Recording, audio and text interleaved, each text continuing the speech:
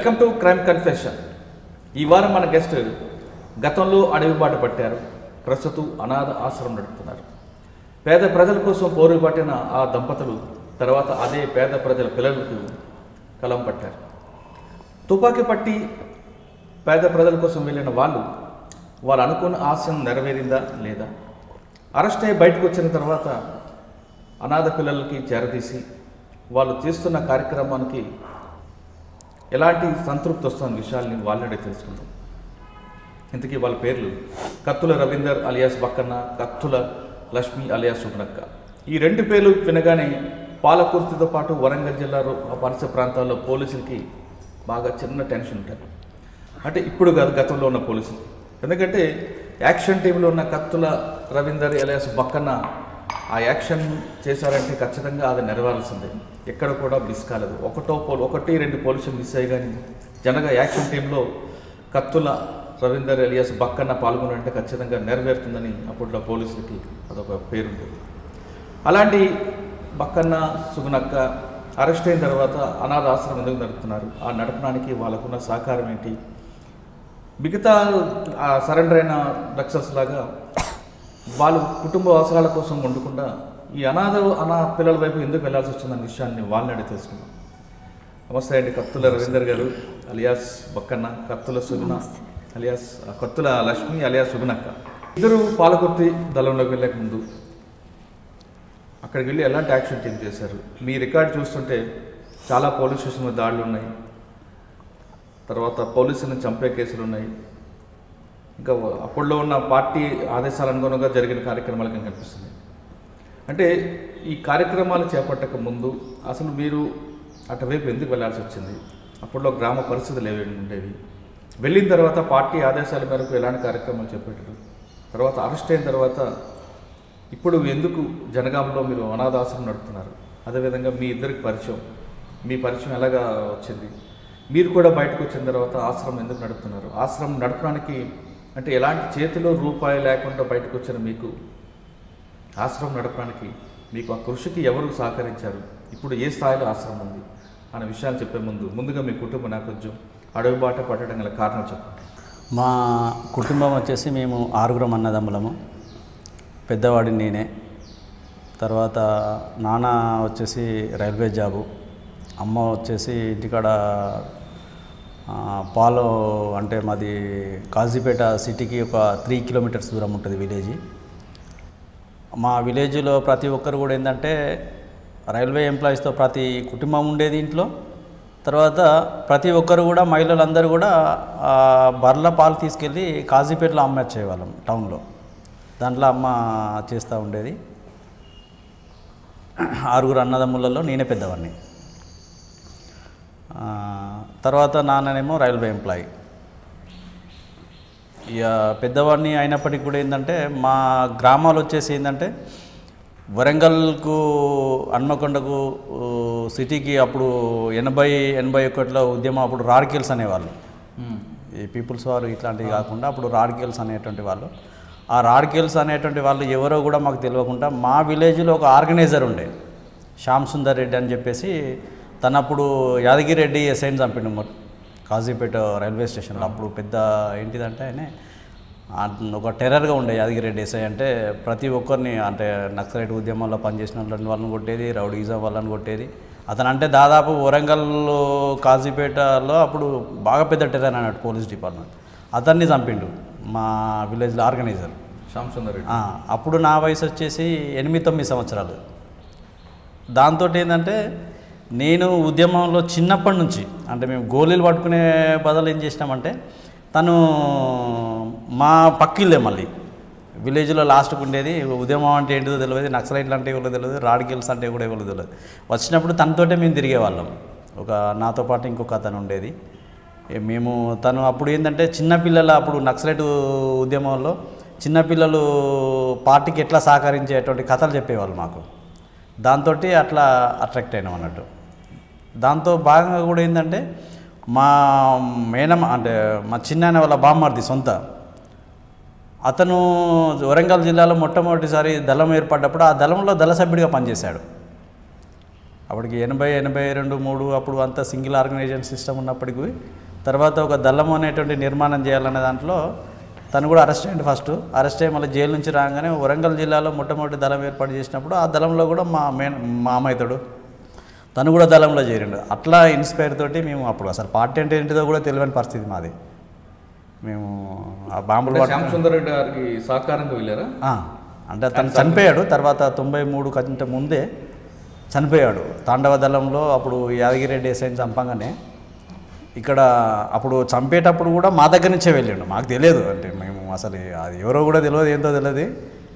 చంపుకుంటాను అంటే అంతే తప్ప కానీ మాకు ఈ రాజకీయాలు అనేటివి కూడా తెలియదు. కానీ మీకు తక్కెటిపల్లి వాసుదేవరావు అలియాస్ శాసన అలియాస్ శాసనతో ఎక్కువగా పరిచయం ఉందని తెలుసు. అంటే మేము తను అప్పుడు హన్మకొండలే ఉండేది. వాళ్ళ సొంత ఊరు మొలుగు అయినప్పటికీ కూడా వాళ్ళు రెంట్ ఇక్కడ హన్మకొండలో ఉండేది. మేమిద్దరం కలిసి కూడా ఏంటంటే ఒకే టైంలో ఫుల్ టైం అయినాం. హన్మకొండ అంటే కాజీపేట టౌన్లో. మాకు ఆర్గనైజర్ వచ్చేసి అప్పుడు అంతకంటే ముందు ఇప్పుడు ఈ కొండపల్లి సీతారామయ్య తర్వాత పుల్లంజన్న తర్వాత శ్యామన్న వీళ్ళంతా కేంద్ర కమిటీ సభ్యులని అంటే తర్వాత తెలిసింది నాకు ఉద్యమాలకు వచ్చినా కానీ అప్పుడు వాళ్ళు ఏంటిదో కూడా తెలియదు. వాళ్ళందరూ వచ్చినప్పుడు కూడా ఏంటంటే మేము సెంట్రీలో ఉండేది. చిన్నపిల్లలం కాబట్టి అప్పుడు విలేజ్కి ఒకటే దారి ఉండేది. రైల్వే ట్రాక్ గేట్ పడేది. పోలీసులు రావాలంటే ఆ గేటు జీపులు లేకపోతే బుల్లెట్ అప్పుడు వాళ్ళకి బుల్లెట్ వెహికల్ ఉండే. మమ్మల్ని కిలోమీటర్కి ఒక లేవు వీళ్ళ సమావేశం జరిగినప్పుడు ఏం చేసేదంటే కిలోమీటర్కి ఒకరు చొప్పున యాక్టివ్ మిలిటెంట్లను మళ్ళీ మాలాంటి చిన్న పిల్లల్ని ఏం చేసేదంటే మీరు అడ్డదారిలో వచ్చి మాకు చెప్పాలి. పోలీసు వాళ్ళు వస్తే. అని చెప్పేసి మమ్మల్ని అట్లా కావాలించేది తర్వాత మేము ఉద్యమాలు పోయినాక ఓహో ఇంత పెద్ద నాయకుడికి మేము అప్పుడు సెంటర్ చేసినామా? అంటే అంటే మీరు చిన్నప్పుడు చెప్తున్నారు కదా సెంటర్ అంటే. మ్, సెంటర్ అంటే తుపాకు పట్టుకున్న కాకుండా ఈ- ఇన్ఫర్మేషన్. ఇన్ఫర్మేషన్. ఇన్ఫర్మేషన్ వచ్చినప్పుడు అంటే విజిల్ వేసే విజిల్స్ కాదు. అయితే ఊళ్ళోకి రావడానికి ఒకటే దారి ఉండేది. మేము ఆ ఊళ్ళ నుంచి వచ్చేసరికి మేము షార్ట్ కట్లో వచ్చేసి వీళ్ళకి చెప్పాలి. వాళ్ళ ద్వారా అంటే వాళ్ళ వెహికల్స్ వచ్చినప్పుడు వెహికల్స్ మీద ముందు అయితే ఉరికి రాలేము. తర్వాత వాళ్ళకంటే ముందు అయితే ఫాస్ట్ రాలేము. కాబట్టి ఏంటంటే అడ్డదారులలో మేము చెట్ల చాటుకు రోడ్ మీద ఏదైనా మోరి లాంటిది ఉంటే మోరి మీద కూర్చోవడము. చిన్నపిల్లలు కాబట్టి ఎవరు పట్టించుకోరు కదా. అట్లా వీళ్ళున్న దగ్గరికి మేము తొందర వచ్చి చెప్తే వాళ్ళు తప్పించుకునేటట్టు వాళ్ళు అన్నట్టు. మీరు చెప్తున్నట్లుగా గేట్ ఓపెన్ చేస్తే రావాలి. ఆ గేట్ దగ్గర నుంచి మా విలేజ్ల వరకు కూడా సెంటర్ పెట్టేది అప్పుడు. ఒక దాదాపు కిలోమీటర్లు మూడు కిలోమీటర్లు ఉంటుంది. మూడు కిలోమీటర్ ఎంతమంది సెంటర్లు ఉంటారు? దాదాపు ఒక ఏడెనిమిది మందిని పెట్టేది. అంటే ఒకరికొకరు మెసేజ్ పాస్ చేసి మెసేజ్ పాస్ చేసేది. ఎగ్జాంపుల్ చెప్పండి. ఇప్పుడు పోలీసు వాళ్ళు వస్తున్నారు. అక్కడ నుంచి ఇప్పుడు కంటిన్యూగా వస్తే వాళ్ళు గుర్తుపడతారు కాబట్టి నా ఇప్పుడు నేను ఇక్కడ నుంచి ఇంకొక పది కిలోమీటర్లు అంటే ఒక పది పర్లాంగు రెండు పర్లాంగ్ వరకు అతను వచ్చి చెప్పేది వాళ్ళకంటే ముందు వచ్చేసి. అంటే కోడ్ ఉండేదా? లేదంటే లే లే, లే పోలీసు వాళ్ళు వస్తున్నారు అని చెప్పేది. దగ్గరకు వచ్చేది. అంటే వాళ్ళకి వినబడకపోయేది. షార్ట్ కట్లో వచ్చేసి సై కొంతమందికి ఏమో సైకిల్ ఇచ్చేది. సైకిల్ లేని కాడ ఏంటంటే షార్ట్ కట్లో చిలకలకి వెళ్ళి పిల్లబాటల నుంచి ఉరికొచ్చేటువంటి దారిలోనేమో అట్లా పెట్టేది అన్నట్టు టూ టూ- రెండు రకాలుగా అప్పుడే పెట్టుకున్నారు. ఒకటేమో నడిచొచ్చి చెప్పే వాళ్ళతో ఒకటేమో అప్పుడు సైకిల్ ఎక్కువ వాడేది సైకిల్ మీద చెప్పేది. అలాగే మీరు ఎప్పుడైనా చిన్నప్పుడు ఒక మెసేజ్ క్యారీ చేశారా? ఆ, చేశాము ఒక్కసారి. ఒకసారి ఊళ్ళోకి పోలీసులు వస్తున్నారు వీళ్ళు మా దగ్గరనే ఉన్నారు. దర్గన్న రామన్న అని బట్టిపల్లిలో అప్పుడు ఆర్గనైజర్లు ఉండేవాళ్ళు. మేమంతా అప్పుడు విలేజ్లలో బోర్బావులు లేకుండే. వీళ్ళందరూ వచ్చేసి మాకు ఇండ్లకు పక్కకే బోర్బా అంటే వ్యవసాయ బావులు ఉండేది. తను వచ్చేసి అక్కడ స్నానం చేస్తున్నాడు. స్నానం చేస్తున్న క్రమంలో పోలీసు వాళ్ళు వచ్చిండ్రు. మేము అప్పుడు ఏంటంటే బావి దగ్గరకు ఇంటికి బిందెల వల్ల నీళ్ళు మోసుకుపోయే వాళ్ళం అప్పుడు వాటర్కు చాలా సమస్య ఉండే. దాంతో ఏమైందంటే పోలీసు వాళ్ళు రాగానే తనకు చెప్పాం. చెప్తే తనేం చేశాడంటే దాన్ని అక్కడి నుంచి ఎస్కేప్ అయిపోయి ఒక ఇంట్లో దాక్కున్నాడు. బయటికి వెళ్ళిపోలేదు తను. మళ్ళీ ఇంట్లో దాక్కున్న తర్వాత వాళ్ళు వచ్చేసి చూసి మళ్ళీ వేరే ఊరికి వెళ్ళిపోయిండ్రు పోలీసు వాళ్ళు వెళ్ళిపోయిన తర్వాత ఈయన అప్పుడే వెంటనే ఆ ఇంట్లో నుంచి బయటకు వస్తే బతికేవాడు. మళ్ళీ వాళ్ళకు ఎలా ఇన్ఫర్మేషన్ వెళ్ళేదో తెలియదు. మళ్ళీ వాళ్ళు రిటర్న్ వచ్చేసి అతన్ని తీసుకొని పోయి చంపేశారు. మా కండ్ల ముందు జరిగింది అది చిన్నప్పుడు. కళ్ళ ముందు చంపారా? కండ్ల ముందు ఏం చంపలేదు. మా కళ్ళ ముందరనే పట్టుకొని వెళ్ళారు అన్నట్టు. మరి మీకు ఇన్ఫర్మేషన్ రాలేదు. మాకంటే అప్పటికి వెళ్ళిపోయాను అనుకున్నాం మేము. అప్పుడు ఏంటంటే మా రాంపేట విలేజ్ వాళ్ళ అత్తారు రాంపేట. ఆయన సంతూరు వచ్చేసి బట్టిపల్లి. బట్టిపల్లి అంటే ఇక దాదాపు నక్సలైట్కు పెద్ద దాదాపు ఇప్పటికీ ఎన్కౌంటర్లలో ఒక పది మంది దాకా చనిపోయింది అక్కడ. పది పదిహేను మంది దాకా. ఇప్పుడు ఒక్కరేమో ఉన్నారు ఉద్యమంలో. అది కూడా ఏ స్థాయిలో ఉన్నాడో తెలియదు.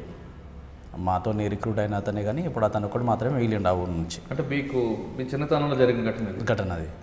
మీరు చెప్పమ్మా మీరు ఎందుకు వచ్చింది ముందుగా ఐడ్రీమ్ ప్రేక్షకులకు నా నమస్కారము. మా తల్లిదండ్రికి పాదాభివందనము.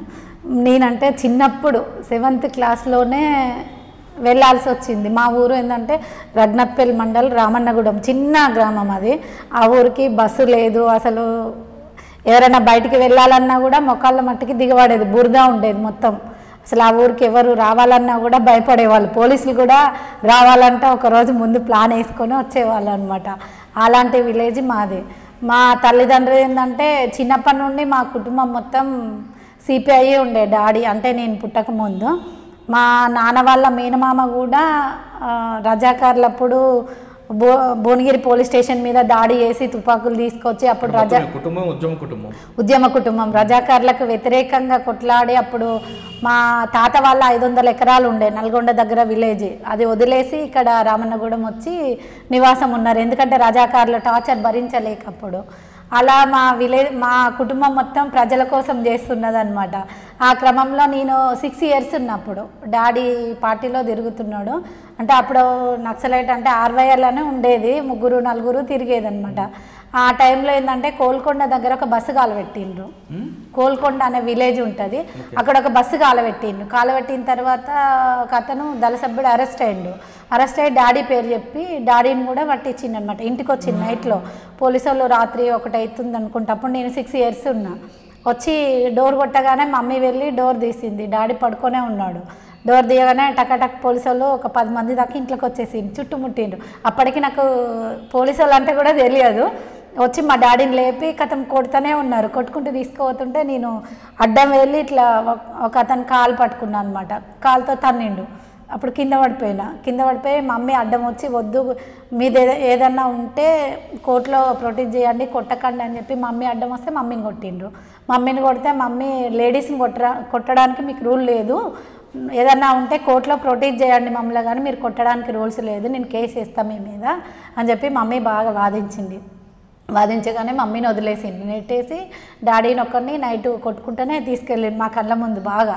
ఇక కొట్టుకుంటూ తీసుకెళ్ళి ఇరవై ఒక్క రోజు జనగాం పోలీస్ స్టేషన్లో పెట్టారు. ఆ తర్వాత మేము సద్దులు అంటే టిఫిన్స్ తీసుకుపోయేది. పోలీసు వాళ్ళు అన్నం కూడా పెట్టకపోయేవాళ్ళు. డైలీ మమ్మీతో పాటు నేను పోలీస్ స్టేషన్కి టిఫిన్ తీసుకెళ్ళి ఇచ్చేదాన్ని. అట్లా తర్వాత జైల్లో ఒక ఆరు నెలలు ఉన్నారు డాడీ వరంగల్ సెంట్రల్ జైల్లో. డాడీని మమ్మీ తీసుకెళ్ళడానికి పోవడానికి కూడా మా దగ్గర డబ్బులు లేవు. అప్పుడు నేను ఆరు సంవత్సరాలు ఉన్నా. మా అన్నయ్య అన్నయ్య అమ్మమ్మ వాళ్ళ ఇంటి దగ్గర ఉండే. డాడీకి ఇట్లా అయిందని చెప్పేసి అన్నయ్య కూడా ఇంటికి వచ్చి మేము ముగ్గురం కలిసి కూలికి వెళ్తే ఆ డబ్బులు పట్టుకొని డాడీని తీసుకురావడానికి వెళ్ళింది. ఆ తర్వాత ఏంటంటే త్రీ డేస్ మొత్తం అసలు అన్నం లేదు. ఒక చింతపువ్వు ఉంటుంది అది దంచి తిన్నా అనమాట అంటే డాడీ ఎలా వస్తాడు? బయట వాళ్ళ ఇంటికి వెళ్ళకూడదు. మా డాడీ రావాలి ఫస్ట్ వచ్చిన తర్వాత అని చెప్పేసి నేను ఒక అప్పటి నుండే నాకు పట్టుదల ఉండే. నేను చదువుకొని పేదవాళ్ళని అస్సలు ఇలా ఉండద్దు. అంటే పేదవాళ్ళు ఉంటే ఇట్లా కొడతారు పోలీసు వాళ్ళు అంటే పోలీసు వాళ్ళ మీద కసి పెరిగింది అప్పుడు నాకు. ఎందుకంటే నన్ను తన్నడము డాడీని కొట్టడము అదంతా చూసిన తర్వాత పోలీసు వాళ్ళ మీద కసి పెరిగి నేను అయితే ఐపీఎస్ కావాలి లేదంటే ఐఏఎస్ కావాలి ఒక జిల్లాని అభివృద్ధి పందలో తీసుకువెళ్ళాలి అని చెప్పేసి ఆ రోజు నుంచి నాకు కసి అనేది వచ్చిందనమాట మొత్తం ఆ చింతపూదినే త్రీ డేస్ ఉన్నాను. ఎవరింటికి వెళ్ళి కూడా అన్నం తినలేదు. డాడీ వచ్చిన తర్వాత బాగానే ఉన్నాము. ఆ ఊర్లోకి రోడ్డు లేకపోతే మాకు ఒక ఆరు ఎకరాలు ఉండే. రెండు ఎకరాలు అమ్మేసి ఊరికి రోడ్డు పోసిండు డాడీ. అక్కడ ఒక ముప్పై ఇండ్లు కట్టించిండు గవర్నమెంట్ అంటే క్వార్టర్స్ లాగా పెట్టి డాడీ తిరిగి ఫైట్ చేసి కలెక్టర్ నర్సిరెడ్డి. తిరిగి ఫైట్ చేసి ఆ ఇండ్లు కట్టించిండు ఊర్లో కరెంట్ లేదు. ఆ కరెంట్ కూడా డాడీ తిరిగి తెచ్చి ఊర్లో బోర్ లేదు ఒక బావి ఉండి అంతే. బోర్ రెండు బోరింగ్ లేపించిండు ఊరికి స్కూల్ లేదు. అసలు నేను ఎయిట్ ఇయర్స్ వరకు కూడా మా ఊళ్ళో స్కూల్ లేదు. నేను చదువుకోలేదు. అప్పటి వరకు కూడా స్కూల్కి వెళ్ళలేదు. డాడీ మళ్ళీ స్కూల్ కట్టించిన తర్వాత స్కూల్కి వెళ్ళాము. సార్లు రాక మళ్ళీ వేరే విలేజ్కి ఎనిమిది కిలోమీటర్లు నడుచుకుంటూ వెళ్ళేది. ఒకసారి వాగు వచ్చింది. వాగు వస్తే ఇక్కడి వరకు తడిసి అంటే వాగులో కొట్టుకుపోయే వాళ్ళం. ఒక రైతు వచ్చి మమ్మల్ని కాపాడిండు. ఎనిమిది సంవత్సరాల ఏజ్లో కూడా వేరే స్కూల్కి వెళ్ళేది. నేను నైన్ ఇయర్స్ ఉన్నప్పుడు మళ్ళీ పోలీసు వాళ్ళ టార్చర్ మొదలైంది. డాడీని తీసుకెళ్ళడము పోలీస్ స్టేషన్లో పెట్టి కొట్టడము మళ్ళీ నన్ను తీసుకెళ్ళి నేను నైన్ ఇయర్స్ ఉన్నప్పుడు త్రీ డేస్ పోలీస్ స్టేషన్లో కూర్చోబెట్టారు. ఎందుకు? పార్టీలో వెళ్తున్నారు. నీ బిడ్డను కూడా తీసుకెళ్తున్నావు నువ్వు అని చెప్పేసి డాడీని కొట్టారు. నన్ను కూర్చోబెట్టారు అనమాట నువ్వు వెళ్ళొద్దు అని చెప్పేసి. అయితే డాడీ ఏం చేసేదంటే నన్ను తీసుకొని విలేజ్లోకి వెళ్ళి పోస్టర్లు వేసేది. అప్పుడు వాటర్ ట్యాంకీలు గోడలు ఉండేది. డాడీ ఇట్లా వంగితే నేను డాడీని ఎక్కి పోస్టర్ వేసేది. అట్లా చేసేదనమాట వస్తుంటే ఒకరోజు తేలు కుట్టింది తేలు కుడితే హాస్పిటల్కి వెళ్తే ఎట్లా కుట్టింది అని అడుగుతారని చెప్పేసి డాడీ చింతకాయ పచ్చడి పెట్టి కట్టు కట్టాడు నాకు. ఏం చేయాలో తెలియక ఏడుస్తుంటే అంత చిన్న వయసులో. అట్లా ఇక డాడీ మొత్తం పార్టీకే అంకితం అయిపోయాడు డాడీని ఒక త్రీ టైమ్స్ పోలీసులు బాగా కొట్టారు. ఇక్కడి వరకు బుంద తీసి పాతి పెట్టిండ్రు. పాతి పెట్టి కొట్టిండ్రు అనమాట ఆ రోజు నక్సలైట్లు ఇంట్లో ఉన్నారు. డాడీని పోలీసులు అక్కడ కొడుతున్నారు. నాకేం చేయాలో దోయలేదు నాకు ఆ గొల్లం కూడా అందదు. ఇట్లా ఎక్కి ఆ గొల్లం వేసి తాళం వేసిన. తాళం వేసి పోలీసు వాళ్ళు ఇంటికి వస్తే తాళం చేయదంటే మా మమ్మీ తీసుకెళ్ళింది నా దగ్గర లేదని చెప్పిన. అప్పటికి ముగ్గురు సత్తన్న శాంతక్క ఇంకొకరు ఉండే ముగ్గురు ఉన్నారు అప్పుడు ఇంట్లో. వాళ్ళని ఆ విధంగా కాపాడినా. డాడీకి తెలుసు అయినా చెప్పలేదు. డాడీ బాయ్ దగ్గరికి తీసుకెళ్ళిండు. అట్లా బాగా తీసుకెళ్ళారా? ఆల్రెడీ డాడీ సానుభూతి పరుడు తిరిగేది కూడా. తిరిగేది జైలుకు పోయి వచ్చిన తర్వాత తిరుగుడు ఆపేసి అన్నం పెట్టేది అనమాట ఎక్కడ వర్క్స్ సెంట్రల్ కమిటీ కానీ స్టేట్ కమిటీ వాళ్ళు డాడీని పిలిపించుకునేది. వర్క్స్ అప్ప చెప్పేది అనమాట టెక్ రంగంలో అక్కడిక్కడ ఉంచేది డాడీ వాళ్ళని. ఆ విధంగా ఇక డాడీ చేస్తుంటే నన్ను సెవెంత్ ఎగ్జామ్ రాయనీయలేదు. మొత్తం ఎగ్జామ్ పేపరు చింపేసి నా బట్టలు గాలబెట్టేసిండ్రు. అసలు ఇక అప్పుడు ఏం చేయాలనో తెలియదు నాకు. నేను మంచిగా చదివేది స్కూల్లో.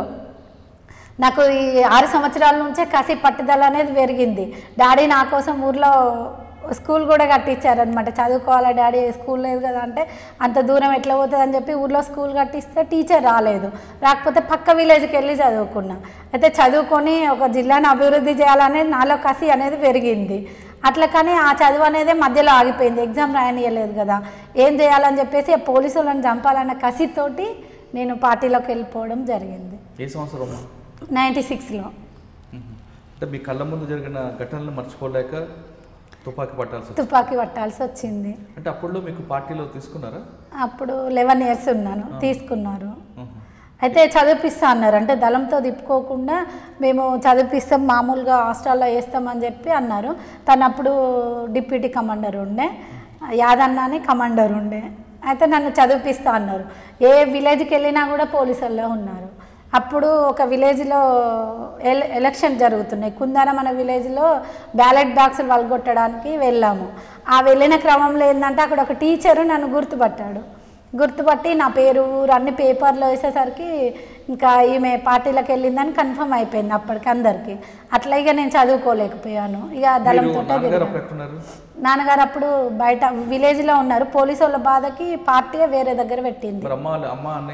అమ్మ డాడీ అన్నయ్య అమ్మమ్మ వాళ్ళ ఇంటికాడ ఉండేది. అమ్మ ఉన్ను డాడీ మళ్ళీ పార్టీ కంట్రోల్లో ఉన్నారు. మీరు దళంతో తిరుగుతున్నారు. దళంతో తిరుగుతున్నప్పుడు డాడీ సంవత్సరాల వయసు దళంతో వెళ్ళిపోయాను. దళంతో తిరిగేది. చాలా చిన్న ఉంటేనే పొలాలు అంటే గట్లు ఎక్కరాకపోయేది. వీళ్ళు ఎత్తుకొని తిరిగేది నన్ను. చాలా చిన్నగా ఉన్నా. ఏ విలేజ్కి వెళ్ళినా ఎవరు అన్నానికి వెళ్ళినా నాకు చాక్లెట్ దళంలోనా? దళంలో ఏం పని చేసేవారు? నేను దళంలో అంటే దళంతో పాటు తిరిగేదాన్ని. అంటే విలేజ్లలో మీటింగ్లు పెట్టడము అంటే మహిళా సంఘాలు పెట్టడము మహిళలకు మహిళలకి ఏ సమస్యలు వచ్చినా ముందుండి చేయడము అట్లాంటివి చేసేదన్నమాట. అంటే నాకు అప్పటికి లోకజ్ఞానమే తెలియదు. అయినా కూడా పార్టీలో ఉండి బుక్స్ చదువుతూ వీళ్ళ అంటే క్లాసులు ఉండేది మాకు. మహిళా క్లాసులు ఉండేది మిలిటరీ క్లాసులు ఉండేది. మిలిటరీ క్లాస్లో కూడా నన్ను తనును మాధవక్క ఆ, వైద్యుల అరుణ అని ఉన్నది కదా. తను కొట్టింది కూడా. ఎందుకంటే నువ్వు మిలిటరీలో చేయాలి ఫస్ట్ అని. మూడు వందల మందిలో నేను ఫస్ట్ వచ్చేలా తయారు చేసింది వీళ్ళిద్దరు కలిసి. నన్ను కొట్టి కూడా మిలిటరీలో క్యాంప్లో ఫస్ట్ వెళ్ళేసరికి తను ఉన్నాడు. తను నేను థర్డ్ క్లాస్ అప్పుడే మా ఇంటికి వచ్చేది. అట్లా పరిచయము. కాకపోతే దళం అందరు వచ్చేది. థర్డ్ క్లాస్లో ఉన్నప్పటి నుంచి కూడా పరిచయం తను. ఇక పార్టీలోకి వెళ్ళిన తర్వాత ఒక టూ ఇయర్స్ తిరిగిన తర్వాత మ్యారేజ్ అయిందనమాట అంటే పార్టీలో ఉన్నప్పుడు ఇద్దరు ప్రే- ప్రేమించుకున్నారా? లేదా ముందే ముందేం లేదు. పార్టీలో తిరిగిన తర్వాత కొద్ది రోజుల తర్వాత పార్టీ అంటే పార్టీని బట్టే పార్టీ చేసుకోమంటేనే మేము ఇద్దరం పెళ్ళి చేసుకోం ఎక్కడ చేసుకున్నారు? అంటే ఒక తోటలో పెళ్ళి చేశారు. అన్నారం దగ్గర తోటలో పెళ్ళి చేశారు అనమాట అప్పుడు డీసీఎం కమాండర్. కమాండర్. తర్వాత మీ ఇద్దరు పెళ్ళైన తర్వాత ఎక్కడెక్కడ తిరిగారండి? పార్టీ ఆదేశాల మేరకు. పాలకుర్తి దళంలోనే తిరిగాము. ఇద్దరము. ఆ తర్వాత ఒకసారి ఎన్కౌంటర్ అంటే తను లేడు. జ్వరం వచ్చి తను బయటికి పోయిండు. అదే రోజు నేను హాస్పిటల్ నుంచి వచ్చాను అప్పటికి. ఒక ఫిఫ్టీన్ డేస్ సిక్ అయి ఉన్నా. అదే రోజు మల్లంపల్లి అనే విలేజ్లో వచ్చి ఒక వన్ అవర్ టూ అవర్స్ అయింది అంతే. ఇంకా అప్పుడే డ్రెస్ వేసుకుంటున్నా. డౌట్ వచ్చింది. పోలీసు వాళ్ళు వస్తున్నట్టు అనిపించింది. చెప్తే మా వాళ్ళు ఎవరు నమ్మలేదు. ఏం లేదక్క నువ్వు బయటికి వచ్చినావు కాబట్టి నీకు అట్లే ఉంటుంది. ఎవరిని చూసినా పోలీసు వాళ్ళు అనుకుంటావు అన్నారు. అంటే సార్ నాకు ఏదో డౌట్ తోటి అందరు పడుకున్నారు నేను పడుకోలేదు. ఆ టైంలో ఏంటంటే మొత్తం చుట్టుముట్టిండ్రు బీఎస్ఎఫ్ వాళ్ళు మూడు వందల మంది వచ్చిండ్రు. స్టేషన్ వాళ్ళు వచ్చిండ్రు. కిరణ్ కుమార్ అంటే పేర్లు చెప్పొద్దు సారీ. ఒక ఎస్ఐ నేను గోడ మధ్యలో ఉంటుంది. తిట్టుకున్నాం గోడ. కాల్చుకున్నాం. కాకపోతే పైకి కాలుస్తున్నాము ఇద్దరము. తను కాల్చినా నేను చనిపోయేదాన్ని. నేను కాల్చినా తను చనిపోయేది. చనిపోయేది? సరెండర్ కావాలని తను. కాను అని నేను? సరెండర్ కమ్మని తను. కాను అని నేను. చస్తావంటే చస్తావా నువ్వు చేస్తావు అని నేను. ఇట్లా ఇద్దరం తిట్టుకున్నాం అనమాట కొద్దిసేపు. తిట్టుకున్న తర్వాత. ఇప్పుడు? ఏసీపీ అయింది అనుకుంటా. కలిసారు తర్వాత కలిసా. ఏమన్నారు? అంటే నవ్వుకుంటాడు అంతే. నవ్వుకుంటాడు అంతే. అంటే బూతులు తిట్టుకున్నాం కదా నవ్వుకుంటాడు. అంటే అప్పుడు ఆ తర్వాత ఏమైందంటే ఉరుకుతున్న క్రమంలో మాకు చెప్పులు లేవు. ఒక గన్ను తప్ప ఏం లేవు. కిట్లు కూడా మొయ్యలేని పరిస్థితిలో పడేసినాము. నాకు ఒక కొయ్య గుచ్చుకొని మొత్తం బ్లడ్ పోతుంది బాగా. ఆ, దూప గొంతు ఎండిపోయింది. మొత్తం ఇక చనిపోయే పరిస్థితిలో ఉన్నా నేను. ఆ, వాటర్ లేవు. పెండకసరి నీళ్ళు ఉన్నాయి. ఏం లేదు మొత్తం ఇట్లా నారు పోస్తే పెండ కలిపేస్తారు కదా. ఆ వాటర్ తాగిన అనమాట బతకాలి ఫస్ట్ ఏ వాటర్ అయినా పర్లేదు అనే పరిస్థితిలో ఆ పెండకసరి వాటర్ కొన్ని తాగిన తర్వాత కొంచెం కళ్ళు తిరుగుడు ఆగినాయి. ఇంకొక అన్న తాగమంటే తను తాగలే. నాకు బ్లడ్ కారుతుంటే నేను ఆ రాగడి బురద ఉంటుంది కదా అది తీసి ఆ బ్లడ్ రాకుండా పెట్టేస్తున్నా. తూట నాకు పడే తూట ఆ అన్నయ్యకు పడ్డది. నేను నిలబడి ఉంటే అసలు నాకు పడేది. నేను వంగిన కాబట్టి తను ఇటు తిరిగి ఉన్నాడు ఇక్కడ పడ్డది తనకి. ఆ తూట పడ్డప్పుడు కూడా తనని ఒక కిలోమీటర్ దూరం గుంజుకపోయాను. గుంజుకపోయిన తర్వాత రాలేని పరిస్థితి. మాకు అన్ని ఇట్లా రాసుకుంటూ వెళ్తున్నాయి. తూటాలు ఈపులో మొత్తం ఇట్లా వెళ్తున్నాయి. అందరు ఉరికిండ్రు. ఇంకో ఒక అన్న నేను ఇద్దరమే లాస్ట్ అయిపోయినాం. ఆ ఇద్దరం కలిసి మొయ్యలేని పరిస్థితిలో ఉన్నాము. అతన్ని వదిలేసి అతని తుపాకీ అవి తీసుకొని కొద్ది దూరం పోయినాం. మాకు చెప్పులు లేవు.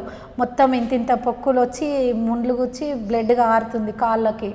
కొద్ది దూరం పోయిన తర్వాత ఒక మోదుగు చెట్లు ఉన్నాయి. మోదుగాకు తీసి దాన్ని నార తీసి కాళ్ళకు కట్టుకున్నాం.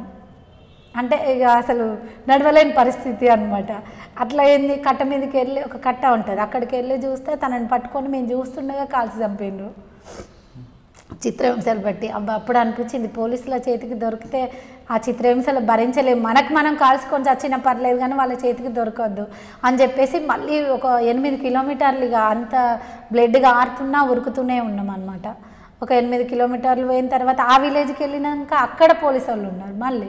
మళ్ళీ ఏం చేయాలనో తెలియదు మళ్ళీ అక్కడ నుండి ఇంకొక విలేజ్కి వెళ్ళినాం. అట్లా నైట్ అంతా నడుస్తూనే ఉన్నాం అనమాట తెల్లారింది మధ్యాహ్నం రెండు గంటల నుంచి నైట్ అంతా నడుస్తూనే ఉన్నాం. ఒక వాగులకు పోయి పడుకునేసరికి ఫైరింగ్ అయితే గన్ పౌడరు ఆ స్మెల్కి ఒక్కొక్కరి కండ్లు ఇంత లావ్ అయిపోయి మొత్తం ఎవరం లేవలేని పరిస్థితిలో ఉన్నాం. అందరి కాళ్ళకు ముండ్లు ఒకరికొకరం ఆ ముండ్లు తీసుకోవడం ఆ బ్లడ్ అంతా క్లీన్ చేసుకోవడం. అట్లాగే ఒక రోజంతా మాకు ఫుడ్ లేదు ఏం లేదు. ఒక టూ డేస్ వరకు ఇక ఆ టూ డేస్ తర్వాత మళ్ళీ ఒక విలేజ్కి వెళ్ళి అన్నం తీసుకొచ్చి తినడం జరిగింది. అప్పుడు అనిపించింది అమ్మ ఎందుకు వచ్చామరా అని అనిపించిందా? అస్సలు అనిపించలేదు. ఆ కసి అనేది ఇంకా పోలేదు. బయట ఉన్న ఇలాంటి టార్చర్స్ ఉంటాయి కదా భరించుకోవాలి అంతే. మనము పార్టీలకు వచ్చినప్పుడే మన ప్రాణత్యాగం చేసి వచ్చినాం. ఇంకా ప్రాణం ఉంటే ఏంది పోతే ఏంది అనే పరిస్థితిలోనే ఉంటాము. మేము బతకాలి బయటకు వెళ్ళి ఇట్లా ఉండాలి అట్లా అంటే ఉండాలి అప్పుడు మీరు. పోలీసుల మీద కోపంతో లోపలికి వెళ్ళారు. అవును. ఆ కోపం తీర్చుకోవడానికి ఏం చేశారా? కోపం తీర్చుకోవడానికంటే ఏం చేయలేదు. ఒక దగ్గరికి వెళ్ళాను. నేను ఒక సిఐ ఉన్నారు. ఆల్రెడీ నా దగ్గర వెపన్ ఉంది. ఒక్కడుంటే చంపేద్దాం అనుకున్నా. ఒక ఇరవై మంది పోలీసులు ఉన్నారు ఒక విలేజ్లో అంటే మీరు ఒక్కరు నేను ఒక్కదాన్నే వెళ్ళాను? అప్పుడు సింగిల్ భోజనం తేవడానికని నన్ను పంపించారు. నా దగ్గర వెపన్ షార్ట్ వెపన్ ఉండే ఊరుది? అది కోడూరు అని ఉంటుంది. కోడూరులో ముస్లిం వాళ్ళ ఇంటికి వెళ్ళాను. నా క్లాస్మేట్ వాళ్ళు. వాళ్ళ ఇంట్లో వంట చేయించుకొద్దామని వెళ్ళాను. మొత్తం చుట్టూ పోలీసు వాళ్ళు ఉన్నారు. అతను చంపేద్దాం అనుకున్నా కానీ చాలా మంది ఉన్నారు. మళ్ళీ పక్కన దళం ఉంటుంది. యాక్షన్ చేస్తే మళ్ళీ దళం మీద ఇబ్బంది అవుతుంది. దళం డే టైంలో పోరాదు కదా అని చెప్పేసి మళ్ళీ వాళ్ళ బురకా వేసుకొని బయటకు తప్పించుకొని వచ్చినాయి. అంటే మీరు ప్లాన్ వెళ్ళారు కానీ ఆవేశం ఉంది కానీ అక్కడికి వచ్చాక ఆలోచించారు. అసలు నేను వెళ్ళింది చంపడానికని కాదు భోజనం తెద్దామని వెళ్ళాను. అక్కడ సీఐ కనబడేసరికి చంపాలనిపించింది. మళ్ళీ ఆ లొకేషన్ అంతా ఎందుకు ఆ సీఎం ఏదో చంపాలనిపించింది? ఆ సీఐ నన్ను టార్చర్ పెట్టాడు కనుక అతను చేయబట్టే నేను పార్టీలోకి వెళ్ళాను. ఒక సీఐ ఒక కనబడినా కానీ పరిస్థితి కాదు అని మీరు సెట్ బ్యాక్. అయిపోయాను కరెక్ట్ ఆలోచించి అది. అక్కడ ఏమాత్రం డిస్టర్బెన్స్ అయినా వాళ్ళందరూ అలర్ట్ అవుతారు. అలర్ట్ అవుతారు దళం నష్టపోతుంది. నా ఒక్కదాని కోసం దళాన్ని నష్టం చేయడం కరెక్ట్ కాదు కదా? అని చెప్పి ఆలోచించుకొని సెట్ బ్యాక్ అయ్యో. మళ్ళీ మామూలుగా అయితే గుర్తుపడతారు. బురకా వేసుకొని వచ్చేసినాయి మీరు చెప్పండి అన్న. మీరు యాక్షన్ టీం ఎన్ని చేస్తుంటారు? యాక్షన్ టీంలో అంటే చాలా వాటిని ఉన్నా. కాకపోతే ఏంటంటే అవన్నీ కూడా కేసులు పెట్టారు. కేసులు పెట్టారు. కొన్ని పోలీస్ స్టేషన్ రైడింగ్లలో ఉన్నాము. తర్వాత మీ రికార్డులో ఒక పోలీస్ స్టేషన్ మీదకి రెక్యూ చేయడం వెళ్ళి అటాక్ చేద్దాం టైంలో ఫెయిల్ అవ్వడం కూడా జరిగింది. అసలు ఏం జరిగింది? యాక్చువల్ ఏంటంటే నేను అప్పటికి కమాండర్ని అయ్యాను. కమాండర్ అయిన తర్వాత ఒక కమాండర్ స్టేషన్లో పోవాలంటే ఎవరు సాహసించలే. సాహసించలేదు. నేను మా ఉద్యమం ఏంటంటే మాకున్న ఆర్గనైజర్ అప్పుడు నాకు చిన్నప్పటి నుంచి పరిచయం ఉన్నప్పుడు కూడా మా ఆర్గనైజర్ వచ్చేసి తాత అని మంచి టెరిఫిక్ అన్నట్టు. ఇప్పుడున్న ఏపీ డీజీపీ గౌతమ్ సాంగ్నే గడగడలాడించాడు. అసలు తాత అంటేనే అసలు అతను నిద్ర పట్టకపోయేది. అప్పుడు వరంగల్ టౌన్ ఆర్గా ఎస్పీగా ఉండే. వరంగల్ జిల్లా ఎస్పీ ఉండే గౌతమ్ సాంగ్. అతనికి తాత అంటే అసలు ఒక క్షణం కూడా అప్పుడే ఫైజన్ ఇచ్చి చంపించిండు తాతను. తర్వాత అంటే మాకు ఆయన డేర్నెస్ అనేది మాకు అలవాటు పడ్డది. పరిచయం ఉన్నప్పుడు కూడా ఏంటంటే ఆ డేర్నెస్ తోటి ఏంటంటే నన్ను పోలీసుల దగ్గర నేను ఉద్యమం నుంచి అంటే ఇంటి నుంచి పార్టీలోకి వచ్చేటప్పుడు అప్పటికి మాకు కొన్ని అనుభవాలు ఉన్నాయి. అంటే పోలీసులకి ఎక్కడ ఐడెంటిఫికేషన్ దొరికినా కూడా మనం దొరుకుతాము. కాబట్టి ఇంట్లో మనం ఎలాంటి ఆనవాలు ఉండద్దని ఫోటోలతో సహా ఎక్కడ ఫోటోలు ఉన్నా అన్నీ ముందే కాలబెట్టినాం మేము. ఒక ఫోటో కూడా మనం ఐడెంటిఫికేషన్ ఉండొద్దని. దాంతో నేను పోలీసు వాళ్ళకి ఎట్లా ఉంటానో తెలియదు. తర్వాత ఆ ఏరియాలో తిరిగేటప్పుడు కూడా పలానా ఊరని కూడా తెలియదు. ఖమ్మం డ్రైవ్ నాటికి కూడా. అప్పుడు ఏం చేసినామంటే నేను ఒకరిని డేర్గా వెళ్ళేసి స్టేషన్లో అప్పుడు మనకు ఆ విలేజ్లో ఆ మండలం మండల్ సెంటర్ అది స్టేషను. ఒక అతను మన సానుభూతిపరుడు వేరే ఊరు నుంచి వచ్చి అక్కడ సెటిల్ అయ్యాడు. మన పార్టీ కలిసేవాడు అతను. అతని సహకారంతో ఏంటంటే మరి పోలీస్ స్టేషన్కి ఎలా వెళ్తాం మనం లోపలికి? ముందంటే మనం బయట రెక్కి చేసుకొని రావచ్చు. కానీ పోలీస్ స్టేషన్లో లోపల రెక్కి చేసుకోవాలంటే మనం లోపల పోవాలి. మనల్ని అడుగుతారు ఖచ్చితంగా నువ్వు ఎందుకు వచ్చినావు? దేనికి వచ్చినావు? అప్పుడు ఏం చేసినామంటే ఒక ప్లాన్డ్గా ఒక ఆలోచన చేసి సైకిల్ పోయిందని కేసు పెడదాం మనం. అప్పుడు ఏంటంటే సైకిల్లే ప్రధానం. ఈ మోటార్ సైకిల్ ఒక స్కూటర్ ఉంటే మహా గొప్ప. అప్పటికి ఆ టైంలో కూడా. అట్లా ఏం చేసినామంటే సైకిల్ పోయిందని పోయి ఇద్దరం కలిసి వెళ్ళాం. నువ్వు సైకిల్ పోయిందని కేసు పెడతా ఉండు నా పని నేను చేసుకుంటాను. అంటే పోలీసులు ఎంతమంది ఉంటారు? వెపన్స్ ఎక్కడ ఉంటాయి ఎన్ని రూములు ఉంటాయి? సెంటర్ ఎక్కడ ఉంటుంది తను ఇద్దరం కలిసి వెళ్ళిన తర్వాత మొత్తం రెక్కీ చేశాము. ఆ పోలీస్ స్టేషన్ రెక్కీ అయిపోయిన తర్వాత ఆ మండల్ సెంటర్ను మొత్తం రెక్కీ చేశాం మళ్ళీ. అంటే ఏ దారి ఎక్కడికి వెళ్తుంది? ఒక నెల రోజులు పట్టింది నాకు ఆ రెక్కీ చేయడానికి. ఆ, దాని నుంచి దాడి చేసిన తర్వాత ఎలా రిట్రీట్ కావాలి? ఎన్ని పోలీస్ స్టేషన్స్ వస్తాయి? ఎన్ని పోలీస్ స్టేషన్స్ వస్తే ఎన్ని పోలీస్ స్టేషన్లు వస్తే మనం అటాక్ చేసిన తర్వాత ఎక్కడెక్కడ చెక్ పోస్టులు పెట్టే అవకాశం ఉంది? మళ్ళీ మనం నడుచుకుంటూ వెళ్ళాలంటే మా ప్రాంతం వచ్చేసి అంటే వరంగల్ జిల్లాలే మొత్తం మైదాన ప్రాంతం. పాలకుర్తి దళము అంటేనే మొత్తం మైదానం. అసలు చెట్లతోని గుట్టలతోని ఉండదు అసలే. ఓపెన్ అవుతాం. మొత్తం ఓపెనే. బావుల దగ్గర రైతుల సహకారం తప్ప ఎలాంటి పరిస్థితి ఉండదు. అట్లాంటిది ఈ స్టేషన్ మీద దాడి చేసిన తర్వాత మనం పోవాలంటే పోలేము కాబట్టి ఏంటంటే వెహికల్స్ సహాయం తీసుకోవాలి. వెహికల్స్ పోవాలి. ఆ వెహికల్స్ సహాయంతో ఎంత దూరం పోగలుగుతాం? అట్లా రెక్కీ చేసి తర్వాత ఆ స్టేషన్ మీద రైడ్ కోసం ఒక నెల రోజులు ట్రైనింగ్ ఇచ్చారు మాకు. నెల రోజులు ట్రైనింగ్ ఇచ్చిండ్రు. ఆ ట్రైనింగ్లో బాగా చేశాము. చేసిన తర్వాత ఎవరెవరు ఎలా వెళ్ళాలనేది ఇన్స్ట్రక్షన్స్ ప్రకారంగా మేము అది ఫాలో అయినాం. మాకు ఎవరైతే దీన్ని లీడ్ చేస్తున్నట్టును సరిగా లీడ్ చేయలే. ఎందుకు లీడ్ చేయలే అంటే నేను ప్రతి ఒక్క పాయింట్ పిన్ టు పిన్ చెప్పాను. అది కూడా ఎందుకు ఫెయిల్ అయిందంటే రోజు అప్పుడు కరెంటు కోత ఉండేది. కరెంటు కోతలో రోజు ఒక టైంలో కరెంటు పోతుంది అన్నట్టు. అది కూడా చెప్పాను కానీ తను పరిగణలోకి తీసుకోలే. అంటే అనుభవం లేక. అంటే తను ఉద్యమంలో ఉన్నాడు సీనియారిటీ కానీ యాక్షన్లలో కూడా అనుభవం ఉండాలి. అప్పుడు మాకు అంటే ఆశన్న కానీ మాకు కానీ ఎవరికన్నా లీడ్ ఇచ్చినా కూడా మేము చేసేవాళ్ళం. కాకపోతే ఏంటంటే మాకంటే అతను కొద్దిగా సీనియర్ కాబట్టి తనకు లీడ్ ఇచ్చడానికి ఏంటంటే ఆయనకు మిలిటరీ ట్రైనింగ్ ఇచ్చారు. మిలిటరీ ట్రైనింగ్ జిల్లాల నుంచి ఆయనే పోయింది ఫస్ట్ కానీ ఈ యాక్షన్ ఓరియంటేషన్లో క్యాచ్ చేసేంత లేకుండే. దాంతో అది ఫెయిల్ అయింది. ఫెయిల్ అయిన తర్వాత స్టేషన్ ముందుకు వెళ్ళాం మేము వెహికల్స్ వేసుకొని ఏకేలు వేసుకొని మేము దిగుడు దిగుడుతోటే ఒక ఐదు ఫీట్ల గోడను జంప్ చేసి వెళ్ళాలి. గేట్లకి వెళ్ళి వెళ్ళడం కాదు. కేట్లకి వెళ్ళి ఒక బ్యాచ్ వెళ్ళాలి. ఒక ఐదు ఫీట్ల ట్రైనింగ్ ఇస్తే మేము ఒక ఇద్దరమే సక్సెస్ అయినాం దాంట్లో. ఆశన్నవును నేనే సక్సెస్ అయినాం. అంటే ట్రైనింగ్ అంటే కట్టెల్లాగా అంత ఎత్తు గోడలు కట్టి ఆ గోడల మీదకి వెళ్ళి జీబు రోడ్డు ఆ రోడ్డు మీదనే ఉంటుంది పోలీస్ స్టేషను. ఆ రోడ్డు దిగంగానే మరి అంత ఫాస్ట్గా గోడ దునికి వెళ్ళాలి అని ఒక నెల రోజులు ట్రైనింగ్ చేసినాం. దాంట్లో ఒక ఇద్దరమే సక్సెస్ అయినాం. దాంతో మేము దిగే టైంలో ఏంటంటే కరెంటు పోయింది. మా ఎవరైతే లీడ్ ఉన్నాడో ఆ లీడ్ ఇచ్చేస్తాను. కరెక్ట్ కాషన్ అయిపోయేసరికి కరెంట్ పోయేసరికి అంత పర్షన్ అయిపోయింది. మళ్ళీ క్యాన్సిల్ చేసుకొని ఆ ఊరు బయటికి వెళ్ళి అక్కడ ఆగినాం. అట్లా ఫెయిల్ అయింది అది. అంటే ఆ ఫెయిల్ అయిన తర్వాత మీరు సమీక్ష జరుపుకున్నారా? జరుపుకున్నాం. జరుపుకున్న తర్వాత ఏంటంటే తను మళ్ళీ ఎందుకు జరిగింది? ఎందుకంటే ఇప్పుడు రెక్కి చేసిన కరెక్ట్ చేయలేకపోవచ్చు అనేటువంటిది కూడా వస్తుంది. కాబట్టి ఏంటంటే మేము రెక్కి చేసిన తర్వాత ప్రతి పాయింట్ రాసుకుంటాం. రాసుకున్న దాంట్లో నువ్వు చెక్ చేసుకో అని చెప్పిన నేను. నేను ఈ టైంకు ఖచ్చితంగా కరెంటు పోతుంది. ఈ కరెంటు పోయిన టైంలో నువ్వు ఏం చేయాలనేది కూడా ఉంటుంది. మనం ఆ కరెంటు పోయిన టైంలోనే దాడి చేయాలని ఉన్నది నువ్వు ఎందుకు కాషన్ చేయాలని మళ్ళీ సమీక్ష చేశాము. తర్వాత తప్పైందని చెప్పేసి దాన్ని లీడ్ చేయాలని. మళ్ళీ సెకండ్ టైం కూడా అంటే అప్పటికి మేము అరెస్ట్ అయినాం కానీ ఇక సెకండ్ టైం కూడా మళ్ళీ ఆయనకే లీడ్ ఇచ్చడానికి ఫెయిల్ అయింది అది. చేశారు సెకండ్ టైం కూడా. పోలీసు మీద దాడి కాకుండా ఇంకేం చేశారు? పార్టీ ఆదేశాల పార్టీ అసోసియేషన్ మనకు కొన్ని పోలీసులను కూడా చంపడం జరిగింది.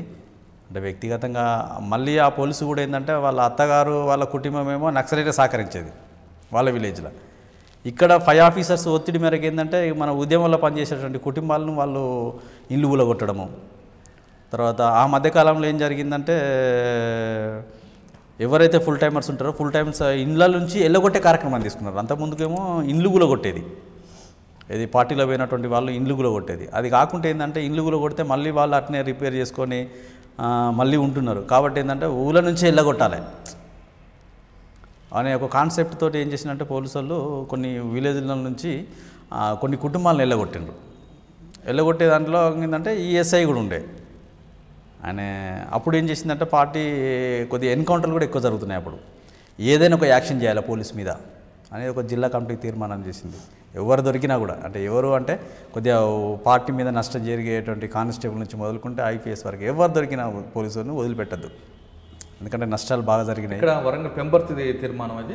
కాదు ఇది మన వరంగల్ జిల్లా తీర్మానం అది. జిల్లా కమిటీ ఆదేశం మేరకు ఏది అయినా కూడా మేము జిల్లా కమిటీ తీర్మానము లేకుండా ఏ యాక్షన్ చేయడానికి లేదు పార్టీ తీర్మానం లేకుండా.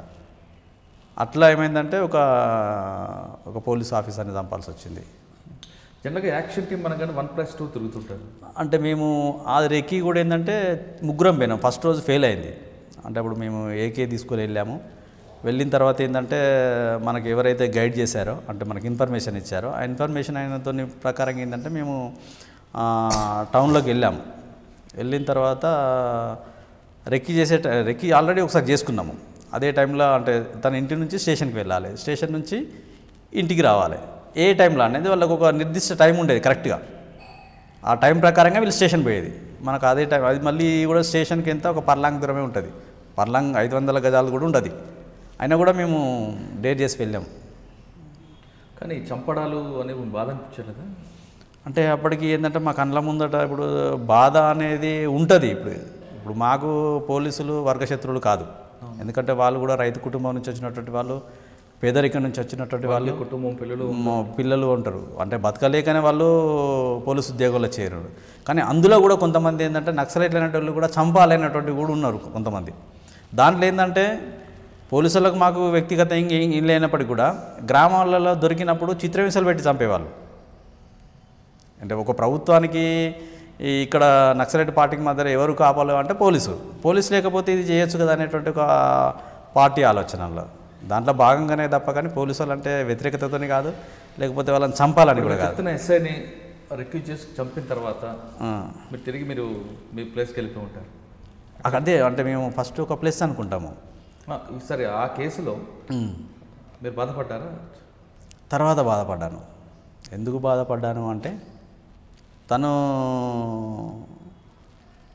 కుటుంబం వచ్చేసి పార్టీకి సహకరించేది ఎస్ఐ అయినప్పటికీ కూడా తన విలేజ్లలో. అంతే అందరు పోలీసు వాళ్ళు కూడా శత్రుడు కాకపోయేది. పోలీసు ఎస్ఐలు కూడా మా దగ్గరకు వచ్చి కలిసిపోయేది సివిల్లో. అప్పుడు కానిస్టేబుల్స్ హెడ్ కానిస్టేబుల్స్ తర్వాత ఎస్ఐలు కూడా కొంతమంది వచ్చేసి మాకు ఇన్ఫర్మేషన్ చెప్పేది. మా దళాల నుంచి కూడా అంటే పోలీస్ పోలీసు అయితే ఎట్లా కోవాటు నుంచి మా దగ్గర నుంచి తీసుకుంటుందో మేము కూడా అట్లా పోలీసు వాళ్ళు మాకు సహకరించే కుటుంబాలు ఉండే.